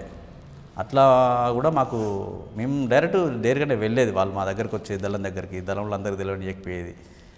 అట్లా మేము కూడా వచ్చేసేది తర్వాత ఏం చేసిందంటే అతను ఒక సంఘటనలో పార్టీకి సంబంధించిన ఆడ ఎస్ఐ ఉన్నాడు కానీ సిఐ పోద్బలంతో ఈయన ఎస్ఐ కాబట్టి ఆయన కంపల్సరీ పై అధికారులు చెప్పినట్టు ఈయన చేయాలి కాబట్టి ఆ ఉద్దేశంతో అని. తర్వాత మళ్ళీ ఏంటంటే తన కుటుంబం కూడా అక్కడ పార్టీ చనిపోయిన తర్వాత కూడా పార్టీ వాళ్ళ కుటుంబం మళ్ళీ అంటే వాళ్ళ అత్తగారు కానీ వాళ్ళు కానీ అక్కడ పార్టీకి సహకరించింది వేరే జిల్లాలో. అంటే అప్పుడు మనకు అనిపించింది ఇక తప్పు చేశాము అనేది. మీరు యాక్షన్ టీంలో ఉండి ఫెయిల్ అయిపోయిన ఘటనలు ఏమున్నాయి? ఒక్కటే ఒకటి ఉంది. అది అంటే యాక్చువల్గా మేము ఒక అన్ఎక్స్పెక్టెడ్గా జరిగింది. ఒక సిఐని మేము యాక్చువల్గా అతను చాలామంది మిలిటెంట్లను తర్వాత సలీం అని ఉండే. సలీం సిఐ ఉండే. మడికొండలో ఉండే. తను అప్పటికి ఉద్యమంలో అంటే అప్పుడు ఏం చేసేదంటే ఉద్యమంలో పార్టీలో పనిచేసే మిలిటెంట్లను కానీ అందరు ఎస్ఐలు సీఐలు కొట్టేవాళ్ళు కాదు. కొంతమంది ఏమో సరే ప్రభుత్వం జీతం తీసుకున్నప్పటికీ ఏం తీసుకున్నప్పుడు కూడా మాకెందుకులే అని వదిలేసేవాళ్ళు. కొట్టకపోయేటోళ్ళు ఏదైనా ఉంటే కేసు బుక్ చేసి. అయితే దీంట్లో పర్టికులర్గా కొంతమంది ఏం చేసేదంటే ఏ ఒక్క మిలిటెంట్ దొరికినా ఆర్గనైజర్ దొరికినా బాగా కొట్టేది కొంతమందిని ఏమో చంపేది. దాంతో ఏమైందంటే మేము ఈయనే బాగా సలీం సీఏ అని బాగా మంది చంపిండు ఆయన. కొంతమంది ఎన్కౌంటర్లు చేసిండు. తర్వాత ఏ మిలిటెంట్ దొరికినా కూడా తను ఇంట్రాగేషన్ చేయడం. తర్వాత అప్పుడు మడికొండకు ఒక పేరు కూడా ఉండే. అది దాదాపు ఇండియాలోనే అప్పుడు అంటే నక్సలైట్ పార్టీలల్లో మడి ఏ పోలీస్ స్టేషన్ పోయినా పర్లే కానీ మడికొండ పోలీస్ స్టేషన్ పోవద్దు అనేటువంటిది ఒకటి ఉండే. ఎందుకంటే ఆ స్టేషన్ పోయిందంటే ఇక వాడు మనిషిలాగా బయటికి రాడు ఇక. ఓ దొంగ కావచ్చు నక్సలైట్ అప్పుడు ప్రధానంగా దొంగతనాల కంటే కూడా మెయిన్ ఏంటంటే నక్సలైట్ పార్టీలను చాలామందిని విపరీతంగా మడికొండ పోలీస్ స్టేషన్లో వేసి కొట్టిండు అన్నట్టు. అట్లా ఏంటంటే తనని చంపాలనుకున్నాం అన్నట్టు. పార్టీ డిసిషన్ అంటే మా డిసిషన్ ఏముండదు అది ఎక్కడ దొరుకుతాడు అతను. అప్పుడు మాకు స్పెసిఫిక్ ఏంటంటే ఒక టర్న్ అవుతుంది. అప్పుడు వరంగల్ టౌన్ ఉంటుంది టౌన్ నుంచి మడికొండకు వస్తాడు అతను. మడికొండ నుంచి అప్పుడు సర్కిల్ ఇన్స్పెక్షన్ ఆఫీస్ వచ్చేసి గన్పూర్. అయితే డైలీ అతను గన్పూర్ వెళ్తాడు. అయితే గన్పూర్ వెళ్తాడు కానీ గన్పూర్లో మడికొండ స్టేషన్ నుంచి ఎప్పుడు వస్తాడో కూడా తెలియదు గన్పూర్కి. కంపల్సరీ అప్పుడు వాళ్ళు వెళ్ళేది. డైలీ కంపల్సరీ వెళ్ళేది అన్నట్టు. దాంట్లో భాగంగా ఏంటంటే ఆశన మేము రెక్కి చేసుకున్నాం. చేసుకున్న తర్వాత అసలు ఒక టర్నింగ్ మీద హోటల్ ఉంటుంది అక్కడ. ఆ హోటల్ ఉంటే ఆ హోటల్ దగ్గరనే చంపేయాలనుకున్నాం. అప్పుడు మాకేంటంటే మేమిద్దరం రెడీగా ఉన్నాము. ఇంకొక పర్సన్ వచ్చేసి మాతో డేర్ చేసేటువంటి పర్సన్ ఒక పర్సన్ ఉన్నాడు. తను ఏం చేస్తారంటే అక్కడ అందరూ ఐడెంటిఫై చేస్తారు. తను కూడా ఎందుకు ఐడెంటిఫై చేస్తారంటే హైట్ ఉండేది బాగా. ఒక ఎక్స్చేంజ్ ఫైల్లో అంటే సబ్స్టేషన్ గాలిపెట్టేటప్పుడు తిన్ తను కూడా గాలిపోయి అంతా ఇక చూడంగానే గుర్తుపట్టే విధంగా ఉన్నాడు అన్నట్టు. డేర్ పర్సన్ ఉండే. అట్లా వెళ్ళి అంటే జేబులోకించి పోయేటప్పుడే యాక్షన్ చేద్దాం అనుకున్నాం. మళ్ళీ ఒక అప్పటికి ఏమైతుందంటే ఇద్దరం అవుతున్నాం ఇద్దరం అవుతున్నాం కాబట్టి నలుగురు అప్పుడు గన్మెన్స్ ఉంటారు. నువ్వు సిఐని కొట్టేస్తావు నేను గన్మెన్లో కొట్టేస్తారు కానీ మరి మిస్ అయితే ఎదురుగా వచ్చేటువంటి వ్యక్తి కూడా ఉండాలి కదా. అప్పుడు అని చెప్పి అది క్యాన్సిల్ చేసి ఒక ల్యాండ్ మ్యాన్ కోసం పెట్టినాం. ల్యాండ్ మ్యాన్స్ కోసం పెట్టిన తర్వాత మెసేజ్ అంటే మాకు సిగ్నల్ ఇచ్చే స్కౌట్ని పెట్టుకున్నాం మేము. అతను ఏం చేశాడంటే అప్పటికప్పుడు మళ్ళీ ఓ మినిస్టర్ ప్రోగ్రామ్ జరుగుతుంది. ఆ సిఐని చంపడం క్యాన్సిల్ చేసి మినిస్టర్ కూర్చున్నాం అట్లనే ఇక. కూర్చున్నాము తర్వాత మాకు ఆ మినిస్టర్ ఆ యాక్చువల్గా చచ్చిపోయేటాడు. ఫస్ట్ అతన్ని మేము చంపద్దు అనుకున్నాం ఒక దళితుడు కాబట్టి. ఫస్ట్ నా చేతికి దొరికాడు ఒకసారి. నేను ఆర్గనైజేషన్లో ఉన్నప్పుడే చేతికి దొరికిండు. ఆ పార్టీ ఏంటంటే దళితులను చంపద్దు. ప్రజాప్రతినిధి అయినప్పుడు ఎమ్మెల్యేగా అయినప్పుడు కూడా ఒక సర్పంచ్ అయినా ఎవరినైనా కూడా దళితులను చంపితే మనం ఎవరి కోసం కొట్లాడుతున్నాం అనేటువంటిది ఒకటి ఉంటుంది. అని చెప్పి మా చేతికి దొరికిండు అతను. అయినా వదిలేసిన. ఎందుకంటే ఒక పార్టీ యొక్క నిర్ణయానికి కట్టుబడి ఉండాలని. అదే అయిన తర్వాత ఆయన మినిస్టర్ అయింది మినిస్టర్ అయిన తర్వాత అప్పుడు చాలామందిని ఆయన కూడా స్వయంగా కొంతమందిని ఎన్కౌంటర్ చేయించిండు. అప్పుడు పార్టీ ఏంటంటే ఇక దళితుడు అయినా వదిలిపెట్టద్దు చంపాలి ఆయన అనేది కూడా నిర్ణయం తీసుకు నిర్ణయం తీసుకున్నది. అప్పుడు ఏంటంటే జస్ట్ మాకు స్కౌట్ ఇన్ఫర్మేషన్ ఇచ్చేటైనా మిస్ చేసిండు. లేకపోతే అతను ఆ రోజు చనిపోయేవాడు. అయితే మళ్ళీ రిటర్న్ కోసం మేము ఏం చేసినామంటే ఒక ఓపెనింగ్ కార్యక్రమం పోతున్నాడు అతను. ఓపెనింగ్ కార్యక్రమం పోతున్న క్రమంలో తెలిసిపోయింది. అక్కడ ఓపెన్ అవుతుంది మిస్ అయిపోయిండు. కాబట్టి మేము అప్పటికప్పుడు ఒక లెటర్ కూడా రాసుకున్నాము. మేము అంటే టైంలో విత్ ఇన్ సెకండ్లో ఆశైనా నేను ఏం చేసినామంటే ప్లాన్ చేంజ్ చేసుకున్నాం ఇక. చేంజ్ చేసుకొని రిటర్న్ అయితే కంపల్సరీ వస్తున్నాడు పోడు. మనం ఇక్కడనే కూర్చొని కొట్టేద్దామని చెప్పి అనుకున్నాం. ఈలోపు మా స్కౌట్ ఎవరైతే ఇన్ఫర్మేషన్ ఇచ్చిటన్నాడో మా ఇన్స్ట్రక్షన్స్ కాదని చెప్పి రోడ్డు మీద పోయిండు. రోడ్ మీద పోయేసరికి ఏంటంటే వచ్చిపోయే హైవే వెహికల్ అది హైవే. దాని మీద ఏమైందంటే నేను గుర్తుపట్టిండు వేరే వాళ్ళు. ఎవరో పోలీసులకు చెప్పిండ్రు చెప్పేసరికి ఏం చేసిందంటే మేము అప్పటికి అనుకున్నాం. ఒక జీప్ వచ్చేసింది అంబాజిటర్ కార్ వచ్చింది ఒకటి. అంబాజిటర్ కార్ వచ్చేసి మేము కరెక్ట్గా ఏదైతే ప్లేస్ మీద పెట్టామో ల్యాండ్ మ్యాన్స్ ఆ ప్లేస్ మీద కూర్చున్నది. టాయిలెట్ ఇట్లా పోస్తున్నాడు. చెప్పేశాను అన్న అది ఖచ్చితంగా అది పోలీస్ వెహికల్ అది. మనము మనోడు ఎక్స్పోజ్ అయినట్టున్నాడు రోడ్డు మీద. మరి వెనక మనకు ట్రాక్ ఉంది. ఒకవేళ ఇది ఖచ్చితంగా మనం అనుకుంటే మాత్రం మనం వెనక నుంచి చుట్టుముడితే ముందు నుంచి చుడితే మనం పోలేము. మరి ఏం చేద్దామని చెప్పేసి ఒక డిసైడ్కి వచ్చినాం. ఇంతలో మాట్లాడుకున్న క్రమంలో పోలీస్ జీప్ వచ్చింది. అయితే మేము అనుకునేది అంటే పోలీసు వాళ్ళని చంపద్దు. పోలీసు వాళ్ళని చంపద్దు అని చెప్పి మాకు చంపే అవకాశం ఉండే. చంపే అవకాశం ఉన్నప్పుడు ఏంటంటే మేము దాన్ని విత్డ్రా చేసుకొని అక్కడి నుంచి మేము వెళ్ళిపోయినాం ఇక. తర్వాత ఏంటంటే మళ్ళీ వాళ్ళ కరెక్ట్ ఇన్ఫర్మేషన్ ఉన్నది కాబట్టి వాళ్ళు ఏం చేసిందంటే మళ్ళీ చెక్ చేసి దాన్ని బయటికి తీసిండ్రు. జస్ట్ చూస్తున్నాగానే తీసిండ్రు అది. అప్పుడు కనుక మేము చేస్తే ఒక పది మంది పోలీసులు చచ్చిపెట్టారు ఓ. కానీ వాళ్ళంతా మనకు ఆ ఘటనలో మీరు ఆశన దగ్గర ఇద్దరు ఇద్దరే ఉన్నాం ఇద్దరే ఉన్నాం. ఇద్దరే ఉన్నాం. చూడలేదు. మనం చూడలే అంటే మేము అప్పటికి ఏంటంటే మేము వేరే రూట్లో నుంచి రోడ్డుకి అవతల సైడ్ పోయినాం. ఇటు సైడ్ ఉన్న వాళ్ళం ఏం చేసినామంటే అవతల సైడ్ వెళ్ళి ఒక చెట్టు ఉంటుంది. ఆ చెట్టు సాటి నుంచి చూస్తున్నాం మేము. వీళ్ళు ఏం చేస్తారా అని. చూసుకుంటూ వెళ్ళినాం తప్ప. మళ్ళీ అది ఎక్స్పోజ్ కాగానే చాలామంది వచ్చిండ్రు. కాకపోతే ఏంటంటే మేము అప్పుడు భయపడే వాళ్ళం కాదు. తర్వాత ఇంకొకటి ఏంటంటే పోలీసు వాళ్ళకి ఎట్లుండే అంటే ఆశన్న దళము బక్కన్న దళం ఉన్నదంటే పోలీసు మామూలు పోలీసు వాళ్ళు రాకపోయేది మా దగ్గరికి. భయపడేది. అంటే వీళ్ళు కొద్దిగా మొండోళ్ళు. అంటే మొండి అంటే మొండితనంగా ఉంటుంది. వీళ్ళు భయపడరు దేనికైనా కూడా. అనేది ఒక పోలీసులకు ఒక భయం ఉండే అప్పుడు. ఆశన్న గురించి చెప్పండి సార్. మేము ఇద్దరం పరిచయం మీ ఇద్దరు ఎప్పుడు చివరిగా కలుసుకున్నారు? మేము చివరిగా అంటే నైంటీ సెవెన్లో. Ninety seven. అంటే అలిపిరి తర్వాత? అంతకుముందు. నేను అలిపిరి నాటికి నేను అరెస్ట్ అయ్యి జైల్లో ఉన్నాను. అంటే అలిపిరికి ప్రాణం మీకు తెలుసా? నాకు తెలియదు. ఎందుకంటే నేను అప్పుడే పార్టీ నుంచి ముందుకు వచ్చేసిన కాబట్టి ఇక్కడ అరెస్ట్ అయ్యి జైల్లో ఉన్నాము ఇక బయటకు వచ్చేసినాం కానీ మాకు తెలియదు అది.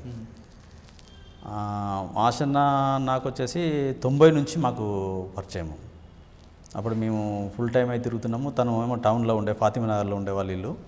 మాదేమో దాని పక్కనే విలేజ్ అప్పటికి పోలీసులు కూడా ఏంటంటే ఆ, ప్రతి విలేజ్లో అప్పుడు ఇప్పుడు ఏదైతే ఏదైతే కార్డన్ చర్చ్ అని చేస్తున్నారో అప్పుడు నాలుగు గ్రామాలు కలిపి చేసేది. ఒక గ్రామం చేస్తే పోలీసు వాళ్ళు మేము దొరుకుతలేము అప్పుడు. ఫుల్ టైం అయినప్పుడు కూడా ఏంటంటే ఈ వాడకు వస్తే ఆ వాడకు పోయేది లేదా బావుల దగ్గర పడుకునేది.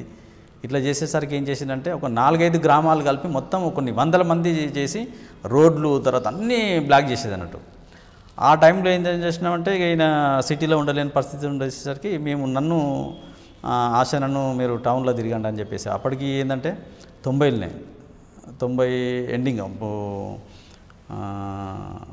గద్దర్ మీటింగ్ జరిగింది అప్పుడు వరంగల్లో. ఆ మీటింగ్ అప్పుడు కూడా మేము క్యాంపెయిన్కి వెళ్ళాం మమ్మల్ని క్యాంపెయిన్ బ్యాచ్ చేశారు. ఆ క్యాంపెయిన్ బ్యాచ్లలో తిరిగాం మేము. తిరిగిన తర్వాత ఏమైందంటే మళ్ళీ తిరిగిన తర్వాత ఇంటికాడ ఉండలేని పరిస్థితి. అప్పుడు మరి ఎక్కడ ఉండాలి అని చెప్పేసి అనుకున్నప్పుడు నేను దండకారణ్యం పోతా అని చెప్పిన అంటే నువ్వు చిన్నగా ఉన్నావు నువ్వు ఆడ ఉండలేవు. ఏ లేదు నేను ఖచ్చితంగా నేను ఉండగలుగుతా. నేను చిన్నగా ఉన్నంత మాత్రం నాకు ధైర్యం లేదా లేదా నేను కిట్టు మోయేనా తుపాకీ మోయలేనా? అంటే చాలా యాక్చువల్గా నేను చూడడానికి చాలా చిన్న పిల్లలు అప్పుడు. నాకు టెన్త్ క్లాస్ ఎగ్జామ్ రాసిన అసలు పాస్ అయినా ఫెయిల్ అయినా కూడా తెలియదు నాకు. వెళ్ళిపోయినా డైరెక్ట్ అంటే అప్పటికే ఉద్యమానికి సంబంధాలు ఉన్నాయి కాబట్టి ఎగ్జామ్ రాసి వెళ్ళిపోయినా. ఇక చూసుకోలే కూడా. దాంతో అప్పుడు తొంభై నుంచి మేము ఇక టౌన్లోనే ఆర్గనైజేషన్ చేసినాం అన్నట్టు. చివరిసారిగా ఆశను తొంభైలో చూశారు. తొంభై ఏళ్ళ తొంభై ఏళ్ళు తొంభై ఏడు. అంటే అక్కడ నుంచి ఆయన దొడ్డకారం పెట్టినారా? ఇక అక్కడ నుంచి తనని ఏం చేసిందంటే అప్పుడు ఉద్యమంలో ఏం చేసిందంటే మేము వరంగల్ జిల్లాలో ఒక ముగ్గురు యాక్టివ్గా ఉండేది. అప్పుడు స్టేట్ కమిటీ సెంట్రల్ కమిటీ ఒక తీర్మానం చేసిందని జిల్లా కమిటీ వాళ్ళు చెప్పారు మాకు తెలియదు.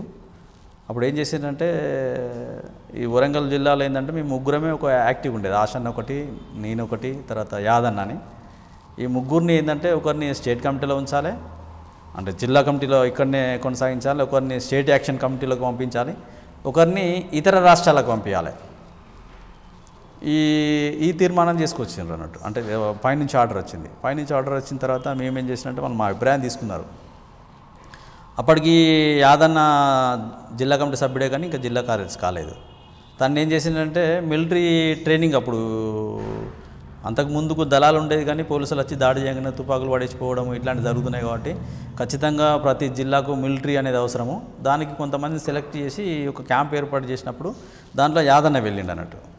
కాబట్టి యాదన్న మళ్ళీ ఇక్కడ ట్రైనింగ్ చేయాలంటే మా ఇద్దరిలో ఎవరికి అది లేదు. అంటే మేము ట్రైనింగ్ వెళ్ళలేదు కాబట్టి. మామూలుగా మాకున్న ఓరియంటేషన్ తోటే మాకున్న తెలివితోటే మేము చేసేది మాకున్న నాలెడ్జ్ తోటే కానీ మిలిటరీ శిక్షణ లేకుండే. కాబట్టి ఏంటంటే తను ఇక్కడ జిల్లాలోనే ఉండాలి. మీ ఇద్దరు ఇట్లా ఒకరు స్టేట్ యాక్షన్ కమిటీలోకి పోవాలి ఒకరేమో ఆ, దండకారణ్యంలో సెకండ్ ప్లాటూన్ ఏర్పడుతుంది. అప్పుడు ప్లాటూన్స్ ఒకటి ఏర్పడ్డది. రెండో ప్లాటూన్ ఏర్పడుతుంది. ఆ ప్లాటూన్కు డీసీఎంగా ప్లస్ అక్కడ ప్లాటూన్ నిర్మాణం చేయడానికి వెళ్ళాలంటే మరి తను అప్పటికి మేము మ్యా మ్యారేజ్ అయింది. మ్యారేజ్ అయిన తర్వాత మరి తను అక్కడ దండకారంలో తిరగలేదు కదా అంటే వేరే మేము అక్కడ దగ్గరలో ఉన్న సిటీలో ఆర్గనైజర్ గారు పెడతాము. మీరు అప్పుడప్పుడు కలుసుకోవచ్చా అంటే అప్పటికి సరే అని చెప్పేసి నేను దండకారణ్యం వెళ్ళాల్సి వచ్చింది. ఆశనను యాక్షన్ స్టేట్ యాక్షన్ కమిటీలో తీసుకున్నారు అప్పుడు. అలా జరిగింది అన్నట్టు. సార్ మీరు టోటల్ ఉద్యమంలో ఉన్నప్పుడు పెద్ద ఎన్కౌంటర్ చెప్పి తప్పించుకున్నారు పెద్ద ఎన్కౌంటర్ అంటే దాదాపు నేను ఎనిమిది తొమ్మిది ఎన్కౌంటర్లకి వెళ్ళి బయటపడ్డా. ఒక దగ్గర మీరు ఉన్నప్పుడు నలుగురు చనిపోవడం మీరు ఎస్కేప్ అయినట్టుంది కదా? అవును. అది వచ్చేసి ఏంటంటే పాలకుర్తి దగ్గర దానికంటే ముందు ఏంటంటే తొంభైలో నేను ఫస్ట్ టౌన్ సీఈఓగా చేసిన తర్వాత నర్సంపేట దళంలో వెళ్ళాను. నర్సంపేట దళంకి అప్పటికి వచ్చేసరికి ఏంటంటే కాంగ్రెస్ వాళ్ళు ఓంకార్ అని ఉండే. వాళ్ళు ఏం చేసేవాళ్ళంటే నక్సలైట్ అంటే నర్సంపేటలో ఎవరిని తిరగనిచ్చేవాళ్ళు కాదు. దాంట్లో సోమన్ అని చెట్టిరాజు పాప ఆయన చిట్యాల ఏరియా టేక్మర్లో ఉండే. అప్పటికి తను సీఓ ఉండే నర్సంపేటకు. తర్వాత జిల్లా కమిటీ సభ్యుడేండు. ఆ దళంలోకి ఎవ్వరు పోవాలన్నా కూడా భయపడేటోళ్ళు. ఒక ముగ్గురే ఉండే. గోపన్న అని ఒకతను ఉండే. తర్వాత రమేష్ అన్న అని ఒకతను ఉండే. సోమన్న. ఇంకొకనే ఎర్రమల్లి. ఇక తర్వాత అందరూ మిగతా దళాలల్లో పోవడానికి సిద్ధపడ్డారు కానీ ఆ దళంలోకి ఎవరన్నా పోవాలంటే భయపడేవాళ్ళు. దాంతో ఏం చేసిందంటే నేను పోదాన్ని పెట్టుకున్నా. ఏ నువ్వు చిన్నపిల్ల కానీ అప్పుడు నువ్వు తిరగలేవు ఉండలేవు. నువ్వు ఇక్కడనే ఉండు అని చెప్పేసి అంటే లేదు లేదు నేను ఇక్కడ టౌన్లో తిరగలేను ఎక్కువ కాలము. అప్పటికి తిరుగుతున్న క్రమంలో మా ఇల్లు కూడా కొట్టిండు ఒకసారి. ఇల్లు కూడా కొట్టిండు ఇల్లు అంతా ధ్వంసం చేసిండ్రు. దాంతో ఏం చేసినామంటే ఒక వన్ ఇయర్ నర్సంపేట దళంలో చేశా. నర్సంపేట దళంలో చేసిన తర్వాత ఏం చేసిందంటే ఆ, ఆ తర్వాత ఏం చేసిందంటే నన్ను మళ్ళీ గన్పూర్ దళం చేసిండు. ఇప్పుడు పాలకుర్తి దళం అని తర్వాత పేరు మార్చిండ్రు. అప్పుడు గన్పూర్ దళం అని చేసిండు. గన్పూర్ దళంలో చేసిన తర్వాత ఆ సంవత్సరం ఇక్కడికి వచ్చాను నేను. నైంటీ త్రీలో. నైంటీ త్రీలో వచ్చిన తర్వాత ఒక దళ సభ్యుడు అప్పుడు దళ సభ్యుడు ఉండే యాదన్న తర్వాత జిల్లా సెక్రటరీ అండ్ తన మ్యారేజ్ పెట్టుకున్నాడు అంటే పార్టీలో ఉన్న అతను ఒక అమ్మాయిని పెళ్ళి చేసుకోవడానికి నిర్ణయించుకున్నారు. అయితే ఆ పెళ్ళి కోసం మేము పోలే. మూడు దళాలు కలుసుకోవాలి టైం అప్పుడు అది. జిల్లా కమిటీ సమావేశానికి పోవాలి యాక్చువల్గా మేము. ఇక్కడికి నర్సంపేటకు పోవాలి. దళం టూ ఎన్ని రోజులైనా నడుచుకుంటూ వెళ్ళాల్సిందే. ఆ జిల్లా కమిటీ సమావేశం కోసమని మేము మీదికొండ గుట్టలు ఉంటాయి. చాలా పెద్ద ఎన్కౌంటర్ అది. ఒక ఉద్యమానికి వరంగల్ జిల్లాలో చాలా లాస్ అయిందంటే అదే మెయిన్ తొంభై తర్వాత పెద్ద ఎత్తున నష్టపోయి ఒక సగం మంది క్యాడరే మొత్తం లొంగిపోయినారు. ఆ టైంలో ఏంటంటే మేము జిల్లా కమిటీ సమావేశానికి పోవాలి యాక్చువల్గా దళాలు మూడు దళాలు కలిసి. మళ్ళీ మాకు లెటర్ వచ్చేసింది. మా కమాండర్ వచ్చి నాగన్న ఉండే అప్పుడు.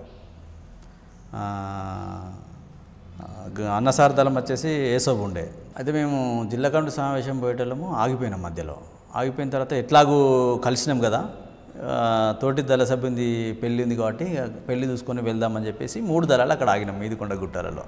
అది వరంగల్ జిల్లాలో పార్టీకి తర్వాత అంటే చిన్న చిన్న ఎన్కౌంటర్లు జరిగినాయి కానీ అంత పెద్ద నష్టం జరిగింది అదే ఫస్ట్ స్టార్టింగ్లో. అప్పుడు మీ మూడు దళాలకు తెల్లవారు వస్తుంది ఎటు పోలేని పరిస్థితి వాళ్ళు. ఆడ గుట్టల దగ్గరనే ఉంటాయి. మేము బావుల దగ్గర ఉన్నాము. అప్పటికి టార్చ్ లైట్ పట్టుకొని తిరుగుతూ ఉన్నారు. అంటే మేము అప్పుడు ఏంటంటే షికారు చేసేవాళ్ళు ఉండే. ఇది అడవి జంతువులను. అయితే వాళ్ళు కుందేళ్ళ కోసమని ఇట్లా షికారు చేసే వాళ్ళు ఉండే. వాళ్ళు కావచ్చు అనుకున్నాం మేము. అని చెప్పేసి మేము వాళ్ళని పట్టించుకోకుండా పోయి పెద్ద గుట్ట ఉంటుంది. ఇక తెల్ల తెల్లవారంగా మేము పోయి కింద ఆగినాము. ఆ మూడు దళాలు కలుసుకున్నాం అప్పటికి. కలుసుకున్న తర్వాత నైటు ఆశననే సెంటర్ ఉన్నాడు అప్పుడు. కలుసుకోగానే ఆశన్న సెంట్రీ ఉన్నాడు. తన సెంట్రీ మారుతూ నేను సెంట్రీలోకి ఎక్కాలి. మాది రెండు వేర్వేరు దళాలు అయినప్పటికీ కూడా కలుసుకున్న తర్వాత అప్పటి వరకు కంటిన్యూగా ఎవరు చేసిండ్రో మేము సెంట్రీ రాసుకోవాలి. సరే ఇప్పుడు ఎవరైతే చేస్తే అనుకొని తన దళం నుంచి వాళ్ళ ఏరియా కాబట్టి ఫస్ట్ తన దళ సభ్యుడు అప్పటికి. దళంలో సెంట్రీ ఆయనకే పడ్డది. తర్వాత నన్ను లేపిండు. నన్ను లేపేసరికి మేము చేంజ్ అవుతున్నాం. అప్పటికి తెల్లారి గట్ల ఐదు అవుతుంది ఐదు నుంచి ఆరు మధ్యలో అవుతుంది చేంజ్ అవుతున్న క్రమంలో ఇట్లా వంగుకుంటూ వస్తున్నారు. అరే ఏంటి? పందులు అడవి పందులు అనుకున్నాం ఫస్ట్ అడవి పందులు అయితే ఇట్లా ఎందుకు వస్తాయి? అవి ఊరుకొస్తాయి. కాదు కాదు కొద్దిగా పర్టికులర్ అని చెప్పేసి చూసినాం మేము ఇద్దరమే చూసాం ఫస్ట్ చూసిన తర్వాత ఇక ఫైరింగ్ ఓపెన్ చేసాం మేమే ఫస్ట్ ఫైరింగ్ ఓపెన్ చేసాం చేసిన తర్వాత ఆశను కూడా ఫైరింగ్ ఓపెన్ చేశాడు. ఈలోపు వాళ్ళు కొద్దిగా గందరగోళానికి గురయ్యారు. కానీ మేము ప్లేన్ ఉంటేనేమో చాలామంది తప్పించుకునే వాళ్ళం. తర్వాత ఏమైందంటే ఇక మాకు గుట్ట తప్ప వేరే గత్యంతరం లేదు. ముందు సైడు మొత్తము పోలీసు. వెనక సైడ్ మొత్తం గుట్ట. ఆ గుట్టే వెక్కిపోవాలంటే వీళ్ళు ఫైర్ చేస్తే మాకే తాకుతున్నాయి. అప్పుడు ఒక ముగ్గురు దళ సభ్యులకు చనిపోయినారు. దాంట్లో అందరూ పారిపోయారు మా దళంలో ఉన్నటువంటి వాళ్ళు ఒక నలుగురం తప్ప. మేము నలుగురము మూడు రోజులు ఆ, గుట్టలలో సొరికెలలో పైన పోలీసులు కింద మేము. వాటర్ లేదు తిండి లేదు ఏమీ లేదు. మూడు రోజులు ఆ- అంద ఆ గుట్టలలోనే ఉన్నాం. సొరికెలలో ఉంటే బాంబులు వేసేవాళ్ళు అంటే మేము వాళ్ళ లోపలనే ఉంటే చనిపోవాలనేది. అట్లా రెండు రోజులు ఉన్నాం మేము మా దగ్గర తూటాలు అయిపోయినాయి ఫైర్ చేయడానికి. నేను అప్పుడు దళ సభ్యున్నే మాకు కమాండరు మా కమాండర్ ఏమో ఇంకో దిక్కు వాళ్ళ మీదకి ఎదురు దాడి చేసుకుంటూ తప్పించుకొని పోయిండు. అంటే అక్కడ చేసింది నాగన్న ఏసోబు తర్వాత నేను ఇంకొక దళ సభ్యుడు తప్ప మిగతా వాళ్ళందరూ పోయిండు అయ్యో. ఇక రెండు రోజులు నా పెద్ద ఎన్కౌంటర్. ఇక అప్పుడు ఆ దళం నుంచి పారిపోయేటువంటి వాళ్ళు కూడా ఏంటంటే తెల్లవారింది మొత్తం కంప్లీట్ తెల్లవారింది. బయటికి వెళ్ళిపోతూ ఉంటే డ్రెస్సులలో ఉంటే ఎక్కడ చూసినా పోలీసే. కొన్ని వేల వందల మంది పోలీసులు. ఒక దళ సభ్యురాలు అయితే దారుణమైన పరిస్థితి. మొత్తము యూనిఫామ్ ఉంటే తను ఇక చెప్పలేని బట్టలు మొత్తం విడిచేసింది. విడిచేసి దన్న ఏం చేసిందంటే మన డ్రెస్సులు ఉంటే ఏమవుతుంది పట్టేసి కొట్టి చంపేస్తారు. టక్న ఏం చేసిందంటే తను వ్యవసాయ కూలీలు వచ్చారు ఆ వ్యవసాయ వ్యవసాయ కూలీలు వస్తే వాళ్ళ చీరలు ఇప్పి దీన్ని తను కట్టుకోవడానికి ముందు ఏంటంటే ఆ బట్టలు ఆమె ఇప్పేసి వచ్చింది. వచ్చిన తర్వాత మళ్ళీ కొద్దిగా పోలీసు వాళ్ళు అటు పోయిన తర్వాత వాళ్ళ డ్రెస్సులు ఇప్పించిస్తే తను కట్టుకొని మళ్ళీ బయటకు వచ్చేసింది. అది చాలా పెద్ద ఎన్కౌంటర్ అన్నట్టు. దాని తర్వాత? దాని తర్వాత దాని కంటిన్యూగా ఏమైందంటే నాగన్న అని మా కమాండర్ ఉండే కదా తను వచ్చేసి ఏరియాకి వచ్చేసిండు. ఏరియాకి వచ్చేసిన తర్వాత ఏంటంటే అప్పటికే మా దళంలో అప్పుడు అంతకంటే ముందు ఒక అతను తొంభై ఒకటిలోనే ఒక అతను దళసభ్యుడు అరెస్ట్ అయ్యాడు. అరెస్ట్ అయినప్పుడు ఆయన ఏం చేసిందంటే ట్రీట్మెంట్ కోసమని హైదరాబాద్కు తపంచ పట్టుకొని వచ్చాడు. అది యాక్చువల్గా అతను పట్టుకొని రావాల్సిన అవసరం లేదు. కానీ ఏదో అప్పుడు పార్టీ ఇట్లా తీసుకున్నదో తెలియదు. అరెస్ట్ అయ్యింది అరెస్ట్ అయిన తర్వాత హైదరాబాద్ జైల్లో ఉండే. తనను పోలీసు వాళ్ళు ఏం చేసినట్టు కోవట్గా మార్చిండు అప్పుడే. తను ఏం చేసిందంటే మేము అప్పటికి అబ్జర్వేషన్ చేయలేదు. చేయకపోయేసరికి ఏం చేసిందంటే నాగన్నను తను నేనే మిగిలినాం. ఆశన్న ఒకటి ఇట్స్ వైపు నుంచి. అయితే అప్పుడు మాకు టౌన్ నుంచి కొద్దిగా పరిచయాలు ఉన్నాయి కాబట్టి మేము అంత చెల్ల చెదిరిపోయింది కదా దళాలు కలుసుకునే పరిస్థితి లేదు. అప్పుడు అనుకోకుండా మళ్ళీ మేము ఆశన టౌన్లో మేము తిరిగినాం కాబట్టి అక్కడ కలుసుకోగలిగినాం. ఇక్కడ నుంచి పారిపోయిన వాళ్ళందరినీ మేము క్యాచ్ చేసి మళ్ళీ టౌన్లో పెట్టి మళ్ళీ దళంగా జిల్లా కమిటీకి అప్పచెప్పినాం మేము. ఈ చెప్తున్న క్రమంలో ఏంటంటే ఈ ఎవరైతే ఈ కోవట్ ఉన్నాడో ఆ నాగన్నను పట్టించేసిండు. ఆయన చనిపోయిండు. ఆయన అసలు నేను తన్ని మళ్ళీ జిల్లా కమిటీ ఏం చేసిందంటే వేపన్ గీపన్ అక్కడనే వదిలేసి సివిల్ అయినా పర్లే అని తీసుకొని వచ్చేసి అని చెప్పేసి నన్ను పంపించిండ్రు. ఇది ఫారెస్ట్ తీసుకెళ్ళాలని. నేను లెటర్ ఇచ్చేసి మళ్ళీ తీసుకెళ్దామన్న టైంలో ఈయన తీసుకురాలేదు. ఈలోపు అనుకోకుండా పోలీసు వాళ్ళు ఏం చేసిందంటే వేరొక అతను చనిపోతే దాని గురించి పంచనామా కోసం వచ్చిందని చెప్పి అన్నారు. అది ఇప్పటికి కూడా క్లారిటీ లేకుండే దాని మీద ఏందనేది కూడా. అంటే ఒక ఘటనలో నలుగురు చనిపోయారు ఒక ఎస్కేప్ అయింది. నేను నేను ఒక్కనే అప్పుడు ఇదే కంటిన్యూలో ఏం జరిగిందంటే దళం మొత్తం డిస్టర్బెన్స్ అయిపోయింది. డిస్టర్బెన్స్ అయిపోయింది నేను ఒక్కడే మిగిలాను. ఉన్న దళ సభ్యులందరూ సరెండర్ అయ్యారు దీని తర్వాత ఏంటంటే మా కమాండర్గా శ్రీమన్నారాయణ వచ్చాడు. శ్రీమన్నారాయణ వచ్చిన తర్వాత తను ఆర్గనైజేషన్గా నేను బయటికి పోవాలన్నా అంటే మిలిటెంట్లను మాట్లాడాలి క్యాడర్ను తర్వాత తిండి తీసుకురావాలని అండ అన్నం తీసుకురావాలన్నా దళానికి బాట చూపించాలని నేను ఒక్కడే మిగిలిపోయినా. ఆ క్రమంలో ఏం చేసినామంటే ఐలో అనే అనే ఒక విలేజ్ ఉండే. ఆ విలేజ్లో ఏం చేసినామంటే నేను దళమంతా ఒక దగ్గర మాకు ప్లేన్ అంటే చిన్న చిన్న ఊరేళ్ళల్లో తప్ప వేరే మొక్కజొన్న చేన్లు లేకపోతే మిరప తోట్లల్లో ఇలానే ఉండేది అన్నట్టు. అయితే మేమంతా అక్కడ పొద్దున్న దాకా ఆగినాము. ఆ రైతు ఏం చేసిందంటే మేము మాకు యాక్చువల్ కూడా ఏంటంటే రైతుల సహకారం బాగుండే. మేము ఎక్కడ మాది మైదాన ప్రాంతమైన ఇరవై మంది ముప్పై మంది రైతులకు తక్కువ ఎవరు చూడకపోయేది మమ్మల్ని. అయినా కూడా మా ఇన్ఫర్మేషన్ ఇవ్వకపోయేది ఎవరికి కూడా. మేము ఎక్కడ ఆగినా కూడా చుట్టుపక్కల బావిలు అందరికీ తెలిసేది. దళం వచ్చేసింది. కానీ ఎవరు కూడా మేము ఎవరు కూడా మళ్ళీ మా దగ్గర ఉంచుకునేటోళ్ళం కాదు. అట్లా ఏమైందంటే ఆయన అనే గ్రామంలోకి నేను మిలిటెంట్లందరినీ మళ్ళీ సమావేశపరచడం కోసం నేను దళాన్ని మూడు గంటల ప్రాంతంలో వదిలేసిన. సివిల్ అయ్యి ఊళ్ళోకి వెళ్ళిపోయి అన్నం తయారు చేయమని చెప్పేసి తర్వాత ఒక వేరే ఒక మిలిటెంట్ని అక్కడ రమ్మని చెప్పినాం వేరే ఊరు అతన్ని. సాయంత్రం. ఇక నేను అక్కడ చెప్పేసి దళం దగ్గర నుంచి వెళ్ళిపోయినా. ఆ రైతు ఏం చేసిందంటే మొక్కజొన్న కంకులు కాల్చిండు కాల్చిన తర్వాత వీళ్ళందరూ తిన్నారు. అప్పటికి ఏంటంటే ఈ పోలీస్ నిర్బంధం బాగా అయిపోయి వెపన్స్ చూటాలు సరిపోవట్లేదు. ఎక్కడైనా ఫైరింగ్ జరిగితే అప్పుడు ఇరవై పది ఇచ్చేది. ఒక ఏకే ఉన్న వాళ్ళకు రెండు మ్యాగజైన్స్ తప్ప ఇంకా వేరే ఉండకపోయేది. దాంతో ఏంటంటే పోలీసుల దగ్గర వందల తూటాలు ఉండి మనకు సరిపోతలేవు. మరి తూటాలు మనం సమకూర్చుకోవాలంటే కష్టం కాబట్టి మీరు గ్రైనట్స్ ప్రతి ఒక్క దళ సభ్యుడు కట్టుకోవాలి. రెండు రెండు గ్రైనట్స్ కట్టుకోవాలి అనేది ఒక పార్టీ ఆదేశాల ప్రకారంగా ప్రతి ఒక్కరికి రెండు రెండు గ్రైనర్స్ అదనంగా తుపాకీతో పాటు. దాంట్లో ఏమైందంటే మాకున్న అదే టైంలో కొత్త దళ సభ్యుడు వచ్చిండు. ఇంకా నేను దళ సభ్యులకు అంటే కొద్ది నిర్బంధం పెరిగింది. జిల్లా కమిటీ తీర్మానం కాలేదు. అంటే ఎవరిని తీసుకోవాలన్నా జిల్లా కమిటీ తీర్మానం ప్రకారంగా. అయితే ఆయన ఇంటికాడ ఉండలేని పరిస్థితి కాబట్టి ఆయన ఏం చేసిందంటే మా దళంతో ఉన్నాడు. ఉన్న క్రమంలో ఈ కంకులన్నీ కాల్సిన తర్వాత ఏం చేసిందంటే వీళ్ళు తినే అని తిన్నారు. తిన్న తర్వాత ఆయన తుపాకీ కిట్టు చేతిలో సంచి ఈ గ్రైనేడ్స్ ఉండేసరికి ఏం చేసిందంటే అది కింద పడిపోయింది. బండ ఉంటుంది. వీళ్ళు ఆ ఊరల నుంచి బయటకు వచ్చిన తర్వాత బండ ఉంటుంది. ఆ బండలో అప్పటికి నేను విలేజ్ నుంచి అన్నం చెప్పడానికి పోయినా కదా నియరెస్ట్ ఒక ఐదు వందల గదాల దూరంలో వచ్చిన దళానికి. ఒకసారి బ్లాంట్ అయ్యేసరికి పోలీసులు చుట్టుముట్టినని మళ్ళీ నేను బ్యాక్ ఉరికిన. ఒక ఐదు నిమిషాలు ఆగిన. అయ్యేసరికి అంటే కౌంటర్ ఫైరింగ్ వస్తుంది అంటే పోలీసులు ఎక్కడైనా చుట్టుముడితే ఏంటంటే వన్ సైడ్ ఉండదు. టూ సైడ్ నుంచి జరుగుతుంది దళం కాబట్టి. అట్లా ఏం చేసినామంటే మళ్ళీ నేను దళం దగ్గరికి వచ్చేసిన. దళం దగ్గర రాగానే ఏం చేసిన అంటే అందరు కుప్పగులు పడిపోయింది. ఒక్క దళ సభ్యుడు తప్ప ఎవరు లేరు ఇక అప్పుడు మా దళంలో నేను శాక్ మెంబర్ని అప్పుడు డిప్యూటీ కమాండర్ లక్ష్మక్ అని ఉండే. కమాండర్ ఏమో శ్రీమన్నారాయణ ఉండే. శ్రీమన్నారాయణకి దెబ్బ తాకింది. ఇంకో దళ సభ్యుడు వాళ్ళు ఆయన భార్య మాధవ కానీ ఆమెకు దెబ్బ తాకింది.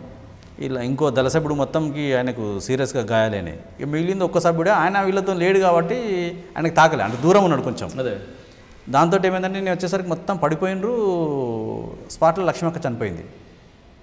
చనిపోయిన తర్వాత ఉన్న వాళ్ళందరికీ బ్లీడింగ్ అయిపోతుంది. ఏం చేయాలో తెలియక మళ్ళీ సోర్సెస్ లేదు నేను ఒక్కడే తప్ప. ఇక మళ్ళీ ఎవరిని ఈ దళ సభ్యుని పంపిద్దామంటే ఈయన కొత్త ఆయనే. మళ్ళీ నేను విలేజ్లోకి వెళ్ళి ఒక జీబుని మాట్లాడి ఇంకొక మిలిటెంట్కి అక్కడ నేను టైం పెట్టాను కాబట్టి అతను కూడా తీసుకొని వచ్చి అతనికి ఇన్స్ట్రక్షన్స్ ఇచ్చాను అన్నట్టు ఇక. నువ్వు వీళ్ళందరినీ తీసుకొని ఆ జీప్ తీసుకొచ్చి నువ్వు వీళ్ళను తీసుకొని హాస్పిటల్ తీసుకోపో. ఎవరి దగ్గర తీసుకుపోవాలని కూడా చెప్పాము మనకు అంటే టెక్నికల్స్ కొన్ని. కాబట్టి ఏంటంటే చెప్పిన తర్వాత తను జీప్లో తీసుకొని ఐనోల్ నుంచి జీ వర్ధనపేట పోయింది హైవే రోడ్ నుంచి పోవాల్సింది ఇక వేరే దారి లేదు. ఐనో అది వర్ధనపేట పోగానే ఏమైందంటే జీప్ ఖరాబ్ అయింది. నైట్లో. ఆ నైట్లే.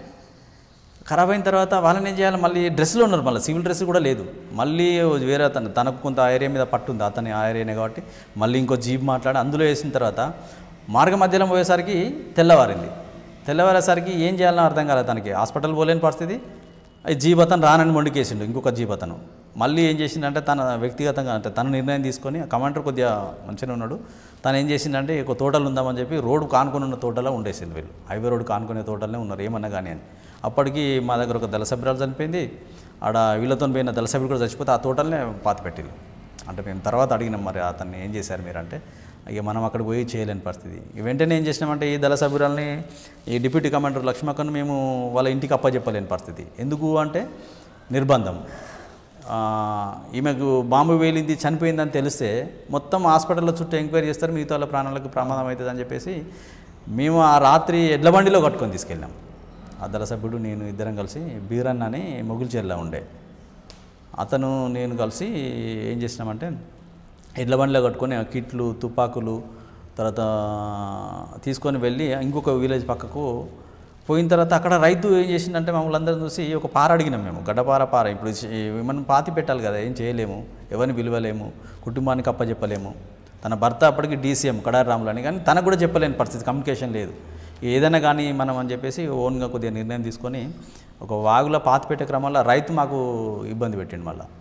నువ్వు అసలు ఎవరిని చంపిండు ఎవరిని పాతి పెడతాను మీరు? అరే మేము పర్షన్ అయినా. మరి ఈయనకి ఎట్లా తెలుసు? ఆహా ఈయన ఏదో ఉత్త క్యాజువల్గా అంటున్నాడు. అట్లా కాదు మాది వేరే ఒక సామాన్ ఉన్నది ఇక్కడ దాచుకుంటాం మేము నీకేం ఇబ్బంది లేదా అంటే ఇక మేము అతను మాయబడి వస్తున్నాడు. ఇక ఉన్న ఇద్దరిలో ఏం చేసినామంటే లోతు తవ్వి పెట్టాలి కదా. తను కొద్దిసేపు రైతు దగ్గర ఉంటే నేను పోయి తవ్వడం. నేను కొద్దిసేపు తవ్వితే తను. ఇట్లా చేసిన తర్వాత ఏమైందంటే ఇక అయిపోయింది.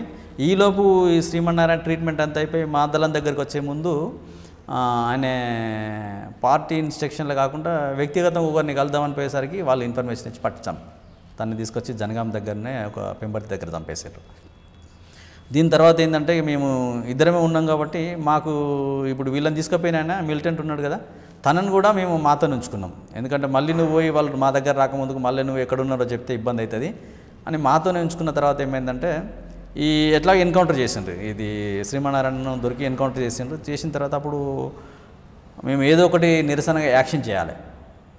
అంటే ఈ దగ్గరలో ఏమున్నది? పాలకుర్తిలో అప్పుడు ఎంఆర్ఓ ఆఫీస్ ఉండే. అంటే అప్పుడు ప్రభుత్వ ఆస్తులను ఎందుకు ధ్వంసం చేయాలంటే నిరసన కోసమే.